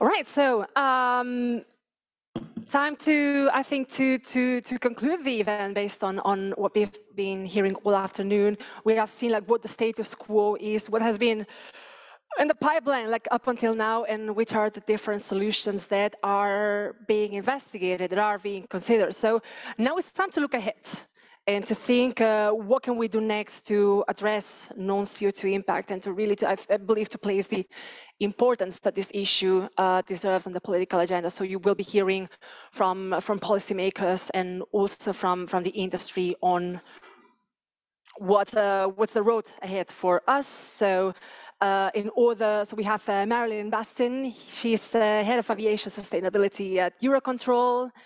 Uh, and next we have, uh, please, if, if, uh, if, if, if, we could please keep it, keep it low on, on stage, please. Um, then next we have Jesper van Manen. He's a senior policy officer on sustainable aviation at the Dutch Ministry of Infrastructure. Um, we have Jane Amilat with us. She is uh, head of unit of low emissions future industries at the European Commission, DG RTD, on research and development. And then uh, we also have with us Thomas Reynaert. He's the managing director at Airlines for Europe. So thanks uh, to all of you for, for being with us. Um, I think uh, we can have uh, quite an interesting conversation ahead. So again, we have prepared a few questions if, if we can be mindful of, of, the time so that we can also then afterwards enjoy our evening and the networking reception that we have here in Brussels. Um, I would like to start a little bit to understand like who is doing uh, what, so to say. So I would like to start with uh, with Thomas uh, from the perspective of the industry, um, and I'm very interested in understanding um, how are airlines overall taking into account their, their overall uh, non-CO2 impacts? Um, I believe the aviation industry released recently a, an, a, a 2050 uh, destination 2050 roadmap on um, uh, to address the climate impacts of aviation. So I'm curious to understand how um, how the non-CO2 impacts are are addressed. Okay, thank you, thank you. First of all, uh, to T&E for inviting me. Um, I'm very happy to represent the airlines view um, in the conclusive or the concluding panel. Um, but first of all, airlines, uh, looking at airlines world, um, I'd like to stress first of all that the top priority will always be safety, safety first. And, and that's an important point because uh, we've heard this afternoon uh, a couple of stories from, uh, from the OEM side, from, from the research institutions, and and uh, also from a fuel perspective, on the aspect on safety, uh, before we draw any conclusions on uh, any effect of non-CO2 from an operational perspective, that's very important. The second point is, of course, is the OPEX for airlines. Airlines are a very cost-driven sector. The last couple of years have certainly not made it any, any easier uh, uh, for us, uh, also towards our supplier. so, so the, um, but the OPEX at the same time, I would say, is, a win-win. I think has always been a win-win. I think the difference now with Destination 2050 and the 2050 target has now triggered, accelerated uh, the process. But what I mean is um, uh, fuel can be up to a third of the cost uh, to operate a flight. So what airlines have automatically done all the time is to work very closely with uh, with the OEMs and with um, companies like like um, like Airbus uh, present here today and to engine manufacturers to reduce the fuel burn. And so as you reduce the fuel burn, you keep the cost uh, at an acceptable level in a normally functioning market. Let me be very clear on this. Um, and thereby also reducing uh, emissions, all emissions, and including non-CO2 emissions. Because all the report on Destination 2050 was, of course, for the reasons we all know very well, focusing on CO2. I mean, we've had, uh, you know, we had to focus on reducing CO2 emissions uh, and the policy in 5055 is quite normal that uh, that, that focuses on, on CO2 effects. But, but basically, we, we are committed in Destination 2050 to go to net zero by 2050. There is really no way back, crisis or no crisis, because currently you are sort of experiencing two crises at the same time. So the commitment of Destination 2050 for the aviation, entire aviation sector is, is there and it's up to the highest level. And uh, apart from the fact that it will cost us and eventually the passenger a lot of money, uh, flying will become more expensive um, that's that's first thing. The second thing is to come uh, to your question is um, uh, I think it's been clear, clearly shown again this afternoon is that uh, measuring uh, the effect of non-CO2 is a very complex challenge. You know, we're not there yet, um, especially because the modeling systems uh, we're using today are not, are not apt for it. It's difficult to calculate contributions caused by a range of uh, what I would call atmospheric physical processes, how the air moves, chemical transformations, microphysics, radiation and transport, etc. Despite all of that, let me be very clear. Huh? Uh, from an A4E perspective, the airlines, we recognize that contrails and NOx have an impact on climate, um, uh, as agreed by the scientific community. What we do um, ask for is to um, see more conclusive uh, evidence uh, before we start thinking about regulation and more policy. It makes no sense putting the cart in front of the horse, talking about pricing of non-CO2 effects before actually know what non-CO2 is actually doing um, and what we can do about it. Just on, um, I would say another positive note is that um, as A4E, we fully uh, support the research um, uh, that's made or being done to avoid um, ISSR, which was mentioned a couple of times. We also encourage our pilots to respond favorably to the, the MUAC uh, solicitations. Uh, we are, in the context of becoming more uh, climate neutral, um, renewing our fleet uh, as we speak. And as been said this afternoon, new aircraft, new engines automatically will give you uh, better performance in terms of emissions, and that includes also in terms of non-CO2 effects, uh, including NOx, but also contrails. Uh, in terms of the use of new fuels, we've discussed it as well. Um, I think, again, we need to be careful not to endanger the safety aspect. So whatever we do, safety will be number one. And this is, of course, the cooperation uh, with, the, with the OEMs, with the manufacturers and the fuel suppliers is going to be absolutely absolutely key. So for us, I think to, to stop there, conclude there for the moment, is from an A4E perspective, uh, we ourselves are also investing in research through various national and European projects, and we continue to work uh, with, with the suppliers for obvious reasons, including to look at the impact of non-CO2 and how we can improve the performance on that. Thanks. Thank you very much, Thomas. So we, I think we can continue on, on this, uh, perhaps reversed order, depending on, on where you're looking at. Uh, if I can turn to you, Jane, from a European Commission perspective, um, we've already hear, heard some, some of the main issues that the European Commission is, is looking at. But from a research perspective, what innovations is the, the EU and the Commission in this case uh, looking at, and what are the tools in, in, in hand to, to, to be supporting them when it comes to uh, studying the, the non-CO2 impacts of aviation? Okay, thank, thank you. Um, I will start with two small personal messages. The first one, I want to reinforce um, what William Todts just said at the beginning. I think we should really shift away from oil, from crude oil, refined oil uh, uh, because in the mid and long term, of course, it has an impact on climate, but I think in the short term, we see uh, what's happening at our border. It's a catastrophe that we continue financing systemic killing of civil population. I think this is really very clear for me that we should shift away. Uh, the second thing is that, okay, um, there was a lot of talk about what should be done, if we are doing something, do nothing. Uh, okay, we have this Fit for 55 package, and it was already mentioned, and I think, okay, it's not perfect, but at least we do things huh? uh, on the refuel EU aviation, on the EU ETS. Uh, so we mentioned also, uh, DG Move mentioned also the uh, fuel taxation directive. And here, as a, as a citizen, personally, I don't understand why we don't have taxation on kerosene and also on heavy fuel for maritime. I, I also cover maritime in my unit, and it would help us a lot also to, to find this uh, new um, innovative uh, or innovative technologies, sorry. Uh, turn back to the non-CO2 climate impact. Uh, yeah, I mean, uh, we heard we have a lot of uncertainties, but I think we finance in the EU uh, and also through the member states, a lot, a lot of projects in the past 20 years on this. Uh, we saw some of them on the screen. Uh, what we try to do is to remove the uncertainties on the phenomena to understand it better, uh, but also to look at mit potential mitigation uh, uh, solutions. Um, yes, we still have uncertainties, but it's, it's clear it's a warming effect, so not to act would not be uh, reasonable, I would say, because uh, yeah, we have to start some, somewhere. I think uh, it's like, like this in life. If you have a problem, you have to start somewhere.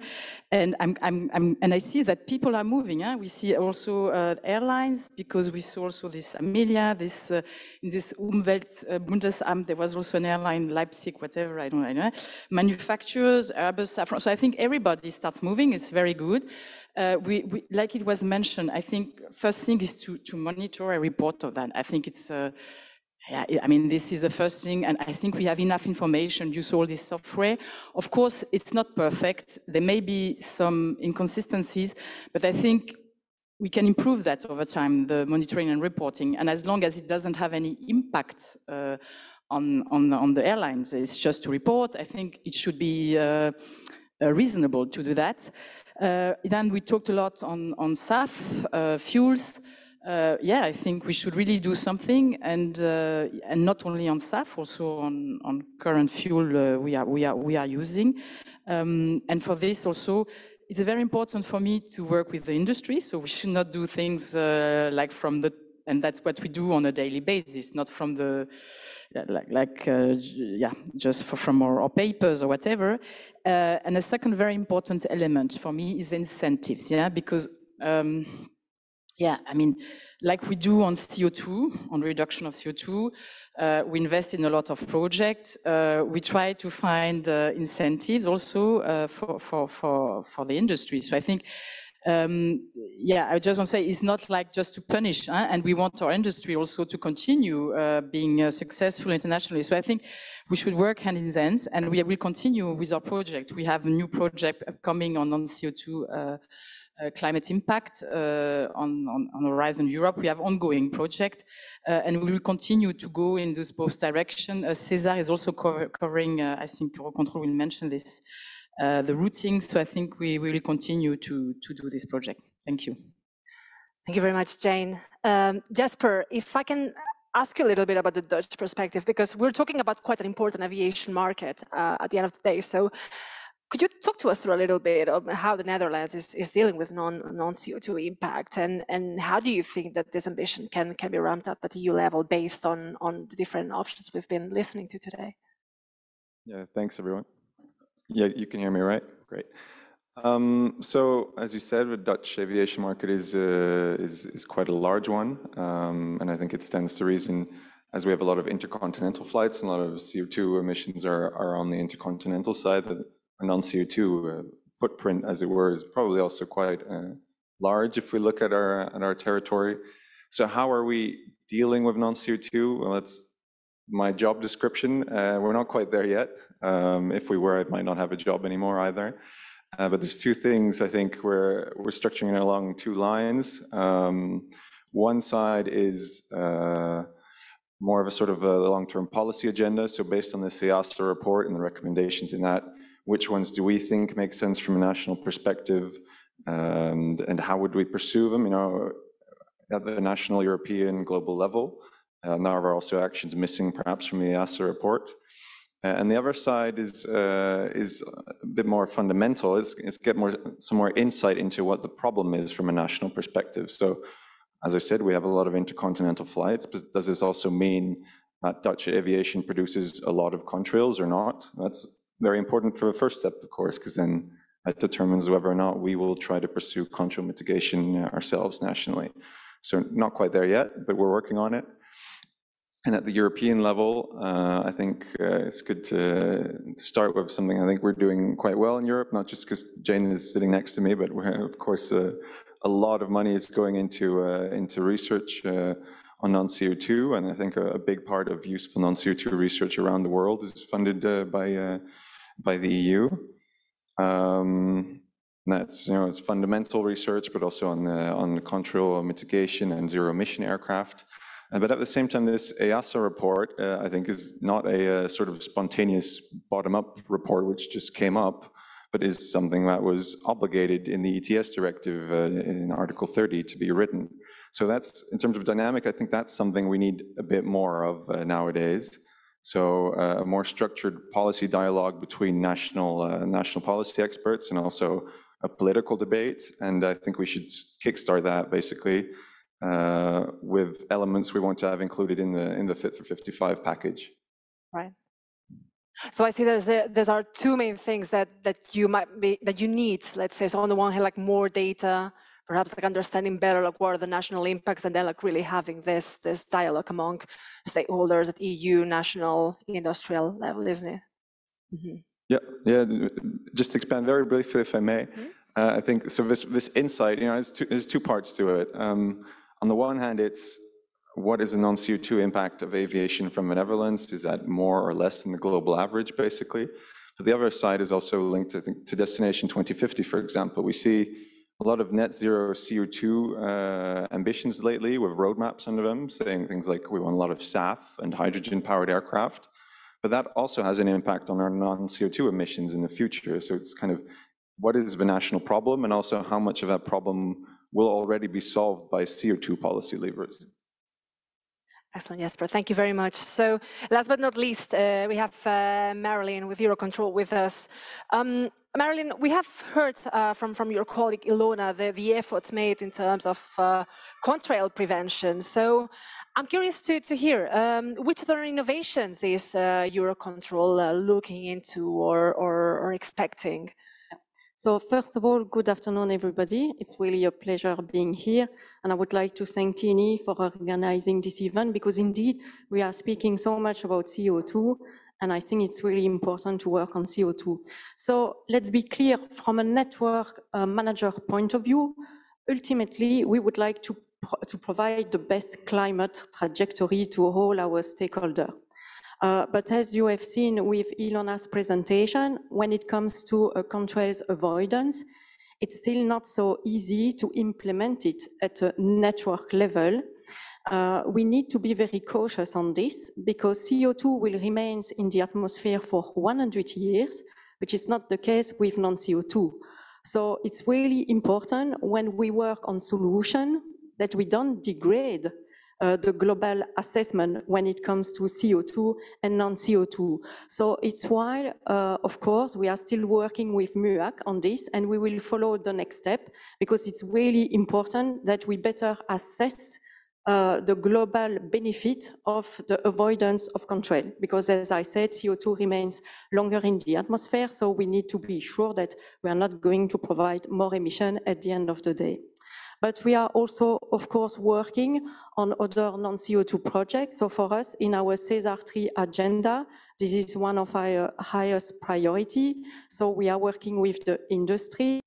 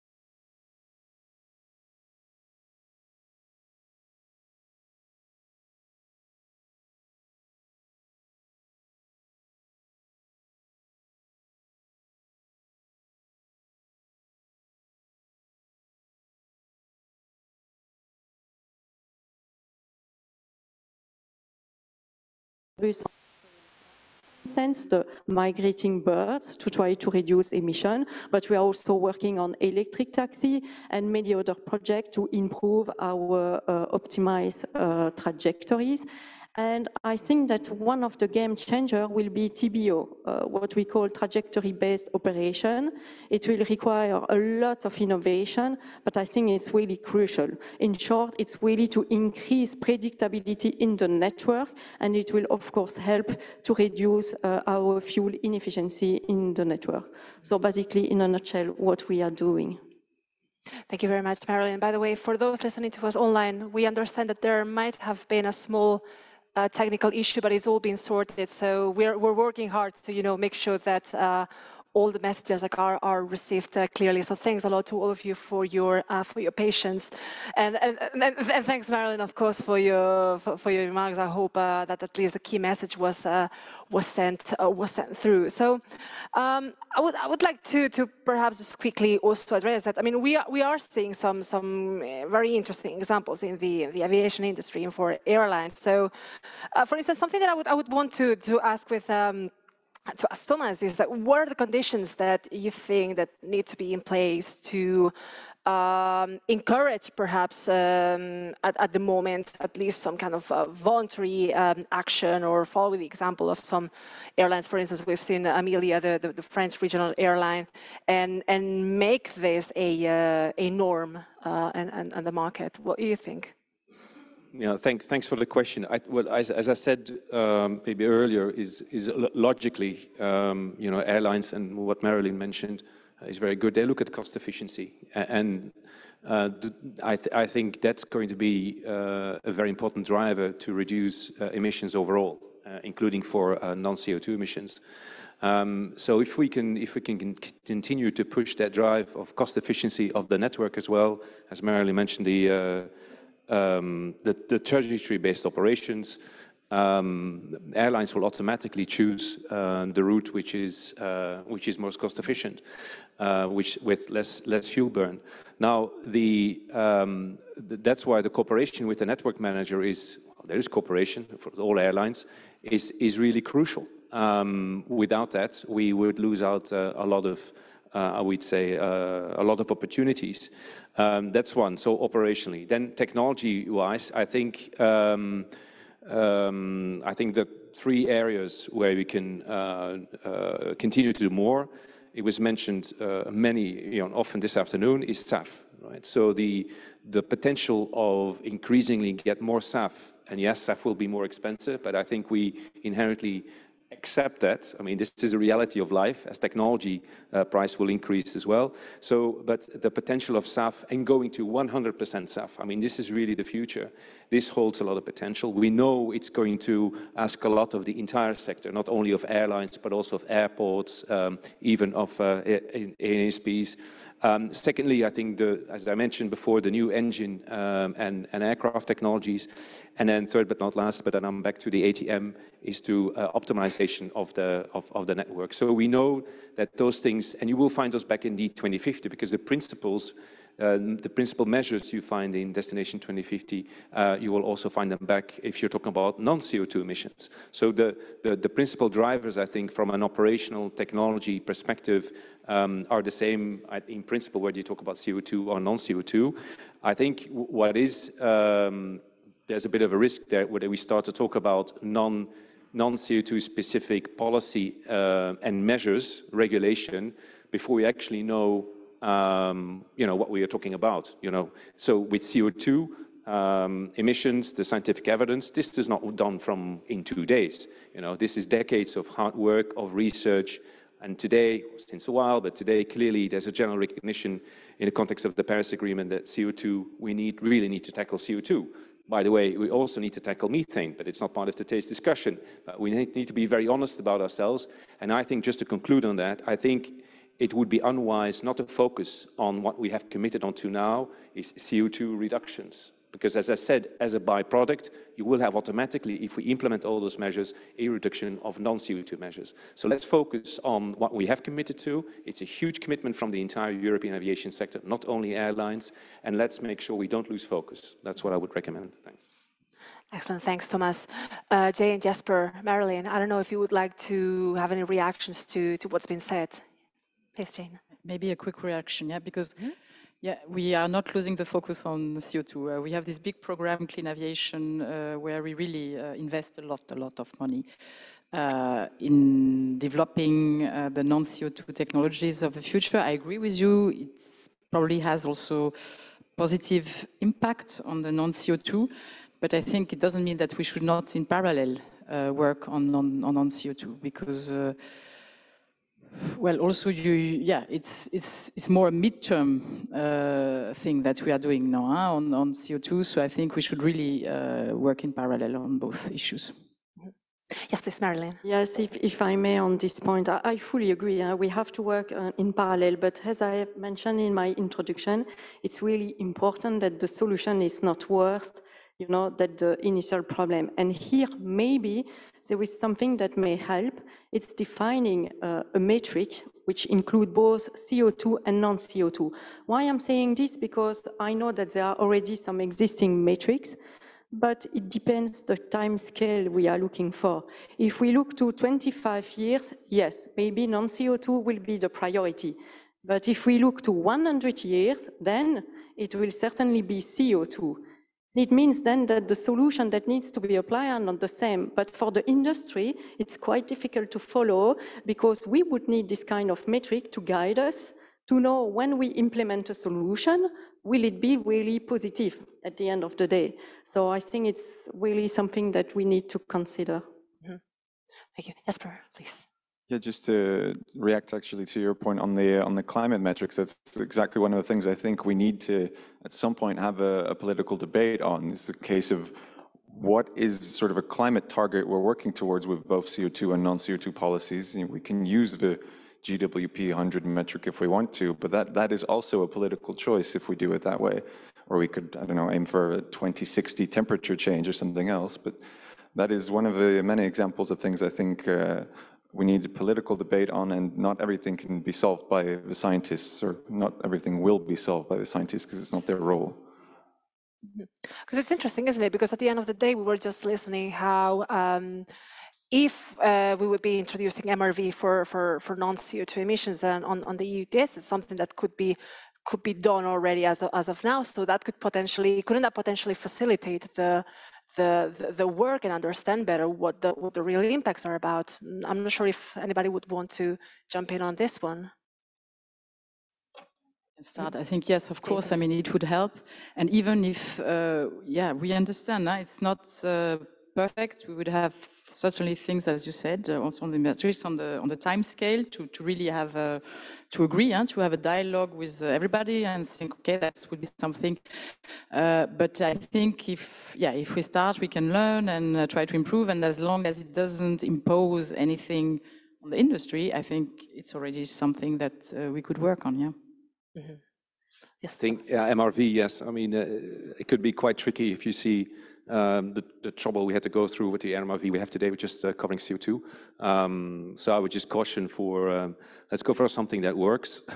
let's first of all get the evidence together and let's then be pra pragmatic and go for something that, that works and not overhaste in the current political debate, because this is what we're also talking about, the, the debates in the parliament and, and between commission and, and, and, and, uh, and the council uh, in the context of Fit for 55.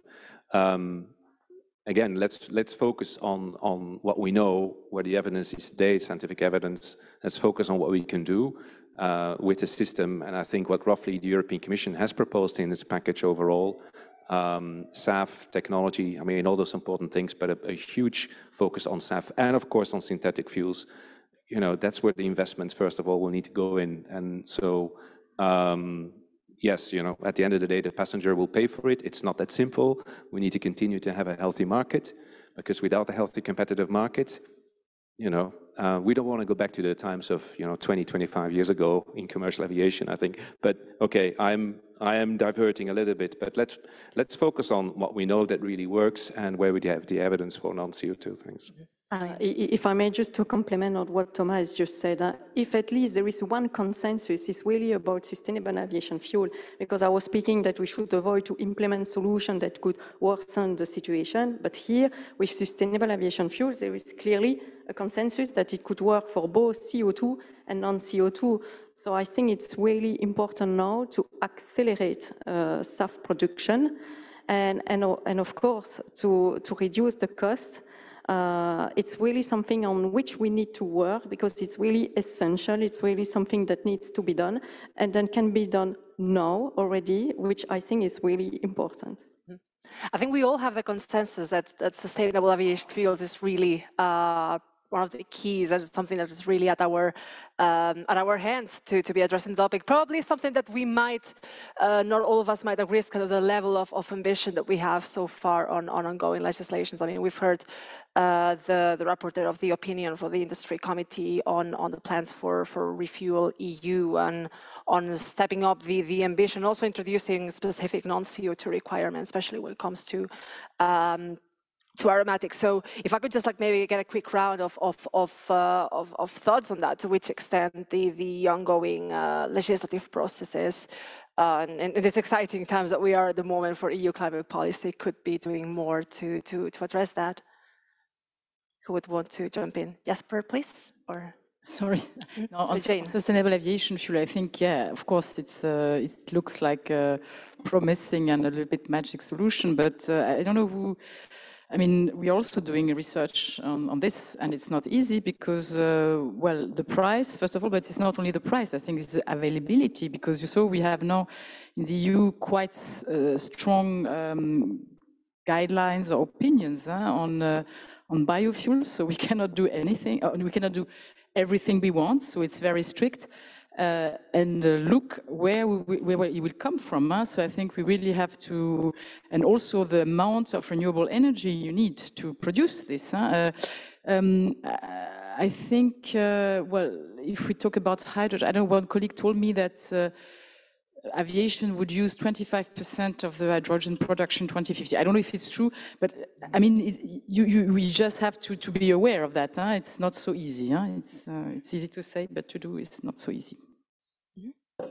Um, okay. Yes, sure. For Marilyn. um, yeah, so on the sustainable aviation fuels and, and Refuel EU, I mean, we, we think there really is a potential there for a win-win, and I think we've heard a lot of people say that today. Uh, also, that's also linked very much to this idea of uh, not trying to increase CO2 emissions by having non-CO2 policy. So we think SAF and also cleaner fossil kerosene are basically a win-win and a neutral win option where you where you don't have this trade-off problem and also the idea of, of a climate metric is slightly less important because they're both pointing in, in the right direction, in the same direction. Um, but then looking at the, at the concrete proposal, uh, by, sorry, by the way, there's of course also the air quality uh, benefit to, to, to, mention from both uh, SAF and, uh, and cleaner kerosene, and of course the, uh, the energy independence issues also been mentioned before uh, from a SAF perspective. And then if we look at, at concretely at Refuel EU, we think there's essentially three uh, options or levels of what we could, what you could do in there. And level one, I think, is completely no regret. That is basically include something like the Article 30 from ETS in Refuel EU and say, ask the Commission to, to write a report studying the benefit of, uh, of SAF and, uh, and cleaner fossil kerosene for these, uh, for contrails and for, uh, for air quality. A second option would be MRV here. So that's really MRV of the fuel composition, not the MRV of non-CO2 and ETS. Those two can be a bit confusing together. Um, because we really see, and I think it's been mentioned before, there's a massive lack of public data uh, on what the uh, on what the average composition is of a fuel in Europe. And I think uh, I'm not sure, but I think on, on generally airlines also don't have access to detailed data on this. They just know their fuel complies with a specification. So there's, there's, an issue getting the data from the refinery into, into the airlines, into the, to the governments. And then the third level would be regulate now. This is, I think, what, uh, what MEP Paulus is proposing. And there we think that is something to probably work towards in a few years' time. But um, I mean, even technically looking, it's a proposal to have a maximum of 8%. Well, I think of safety as a minimum of 8%. So it's already saying the window will be infinitesimally, infinitesimally small. It's a bad word for a panel. Uh, but then you need to get exactly that level. That's a, a bit strange, I think. Uh, and we just don't have the, the impact assessment. Even if all the science was, was perfect, we need to know what are the current concentrations in fuel and how much money would it cost to reduce it to that level. And you have an informed policy decision. So we think basically levels one and two together is what we should do, because that provides the data for future policy discussions. Right. Marilyn. Yeah, I would like to come back to what Jen has said about the level of energy that we need for producing SAF. Indeed, it's really uh, one of the issues. So currently we are working on a study to quantify the, the, the energy that we would need to decarbonize the long haul flights. And it requires a huge amount of energy. Uh, but I must say it's not a problem specific to uh, the aviation sector. It's actually, for me, the real challenge of decarbonizing any industry. It will be the amount of renewable energy that we would need for any sector. So it's why we really need to work on this if we want to decarbonize uh, the aviation sector, but not only the aviation sector, any other sector. So indeed, I fully agree. It's really one of the main key issues for decarbonizing our human activities.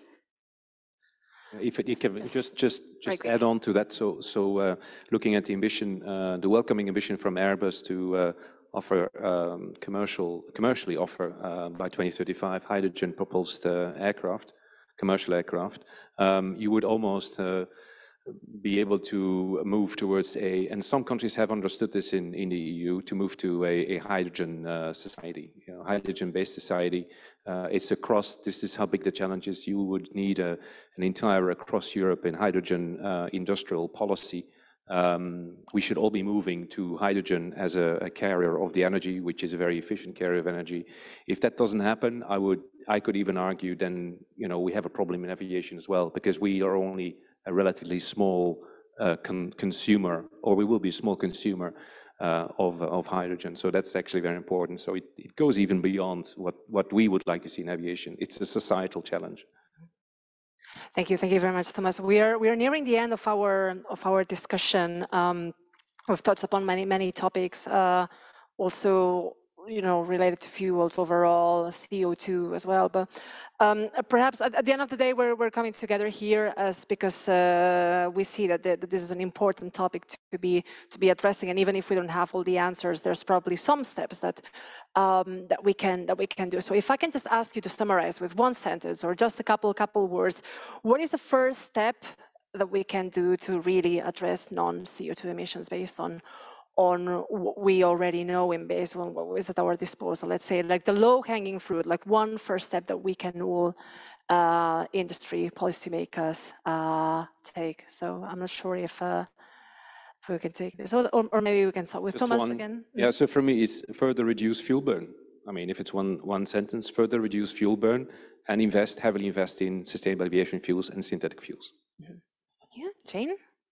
I would say we have to start with this matrix and in view of uh, monitoring and reporting. So to really have a consensus, start a discussion and have a consensus on this. Excellent, Jesper. Well, I'd say SAF, but I think that horse has been beaten to death today as well. Um, I also think it's a case of starting in sort of realization from both businesses and, and, and political and government sides that start wondering, even if we don't have all the data right now of our non-CO2 impact, would we still be making the same decisions if non-CO2 were regulated?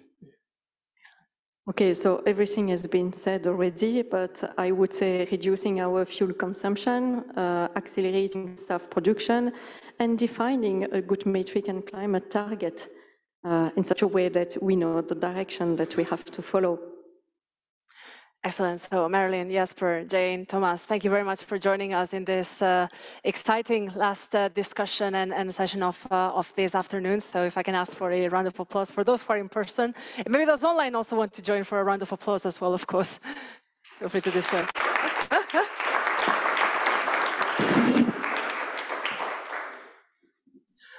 All right, so uh, we're we're nearing the end. We have uh, we're time to wrap up this discussion. We have managed to highlight the importance, the urgency of addressing non-CO2 emissions and how industry and uh, policymakers have already some tools at, uh, at, our disposal to, to be doing so.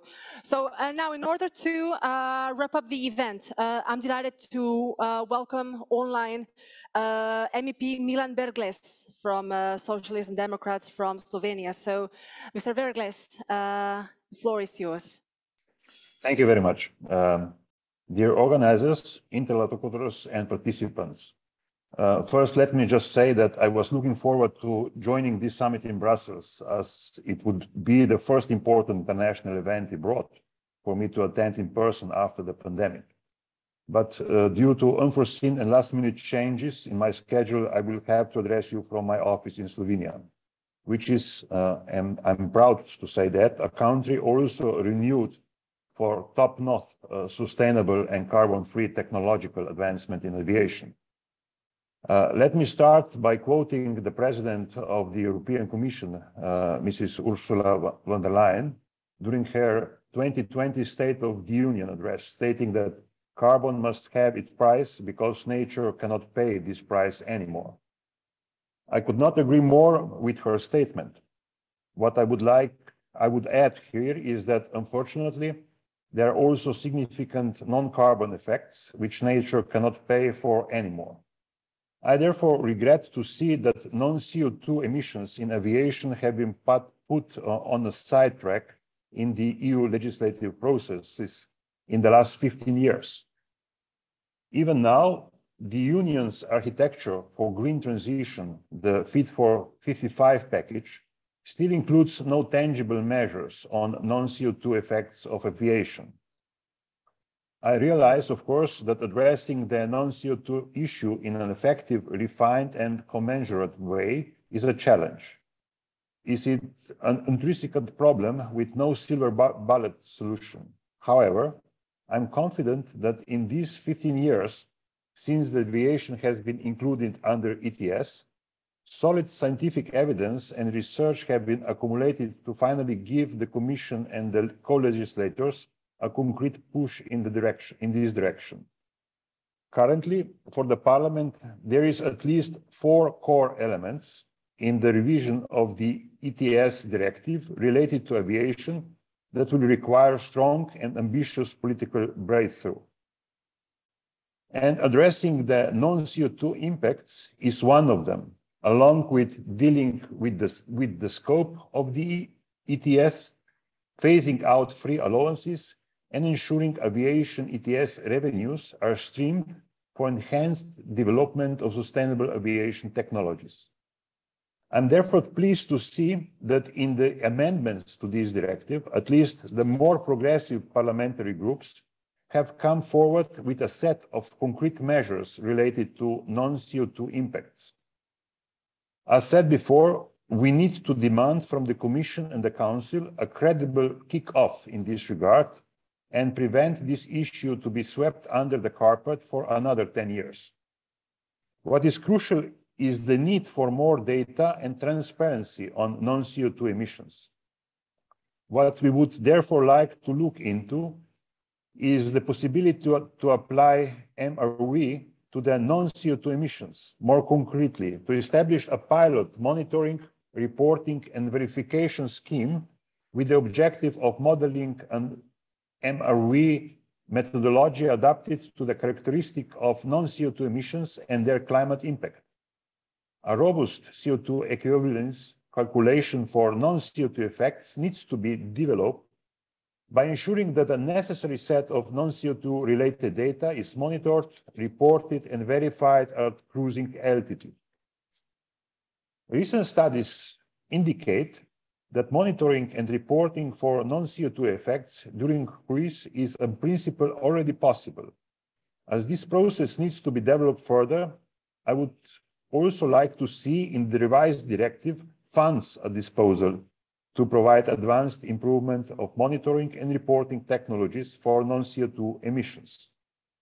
In addition, it is necessary to ramp up funds for research in the formation of contrails and cirrus clouds as well as to further explore the application of mitigation options in this area. For example, possible rerouting or flying at a lower altitude, which has the possibility to reduce contrails and cirrus clouds while not significantly affecting the rise in CO2 emissions. And finally, if I return to Ms. von der Leyen's words the of the necessity of pricing carbon, considering that nature is not able to pay the price anymore, it, it should also be necessary to look into policy options for pricing non-CO2 emissions. I believe uh, the pilot MRV scheme for non-CO2 mentioned before should be an essential move towards this goal. Finally, such a measure could also have an important contribution to enabling additional funds for more research into non-CO2 impacts and technological solutions that would reduce those impacts. So to wrap up and turning to some of my closing remarks, I think we speak in unison when saying that to date, the climate impact of aviation is not adequately accounted for, be it in the EU or globally. Recalling the recent scientific fundings and acknowledging the European Parliament's progressive legacy ever since aviation has been included in ETS, I believe it is high and right time to achieve some meaningful progress in the revision of the ETS aviation directive, especially with the realm of the non-CO2 impacts. At the end of the day, we have a firm legal argument for enabling a viable policy instrument that would finally start taking into consideration the mitigation of non-CO2 impacts of aviation, even though, like I said, unfortunately, we do not have a silver bullet solution. And here I have in mind the respect of the precautionary principle enshrined in the treaties, which is part and parcel of the Union's environmental architecture. So to conclude with, I would like to thank the organizers for the, the opportunity to deliver this address and express my congratulations for promoting these discussions with, with such a wide variety of speakers and experts in the field, as I believe such dialogue is indeed essential for making important substantial contributions to the current legislative process. Thank you very much for your attention.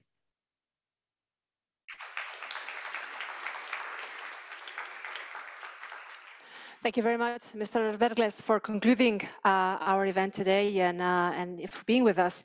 Now, last but not least, uh, before we go on with our evenings, we have, uh, I'd like to welcome on stage T&E's own Andrew Murphy, who will give some concluding thoughts on today's, uh, today's afternoon. So Andrew, thanks for being with us. Thanks. Some brief concluding remarks. Um, as I see the, the drinks already being put out. Um, and so much has been said today that's been extremely interesting and extremely welcoming. Um, but there's not much I can add to it, um, except to say thank you uh, for those who've come out, uh, particularly for those who followed online and for those who organized it. I think we had a really good discussion. Um, we didn't agree on everything. I think that's that's a, a, sign of the complexity of the topic and the seriousness of what we're trying to address, which is to um, make sure that the aviation sector is, is better reconciled um, with the urgent need to reduce climate impact. And we're, all fully aware of how urgent that need is.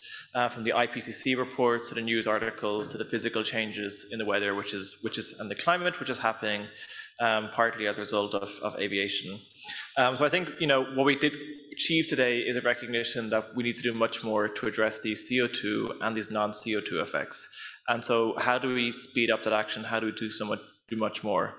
Um, I think a first step is we need a lot more openness and transparency on the data and information that's out there.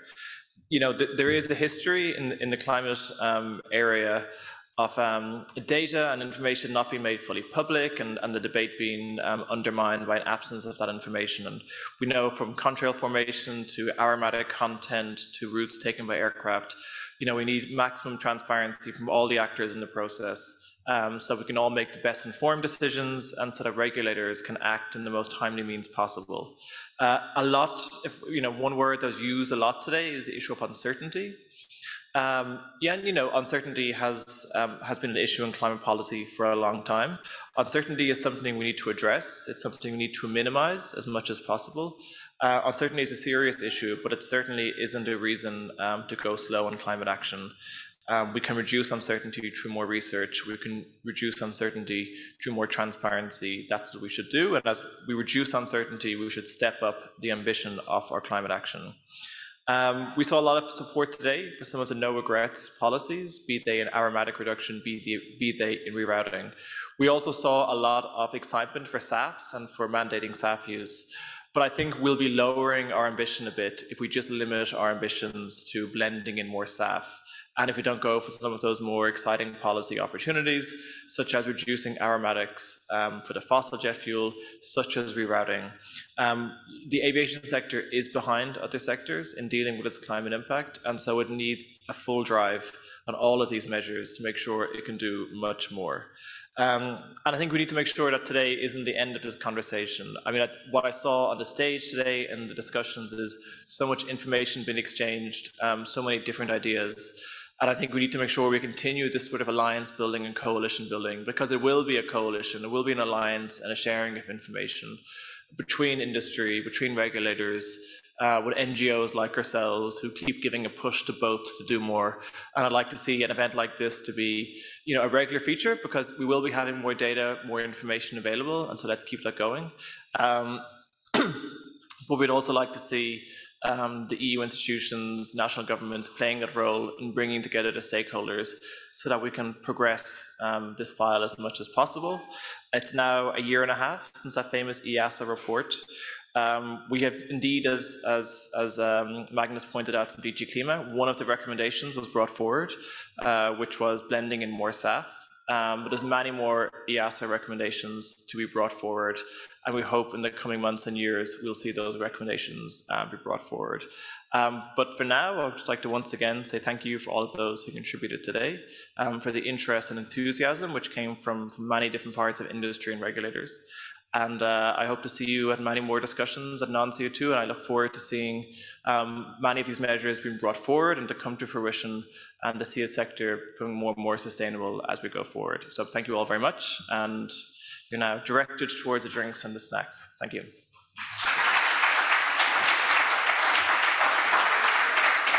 All right, so so that's it for, uh, for this afternoon. Thanks a lot to all of you for joining us on this event, for your thoughtful questions, uh, the speakers for sharing their insights, the team at Transport and Environment, T&E, behind the scenes helping us, also Gene Electra, of course, for making sure that all the technical equipment runs smoothly. And uh, right, on with our evenings. Those who are staying in Brussels uh, can uh, join us for, for some drinks. And to all of you, have a nice evening. Thank you very much.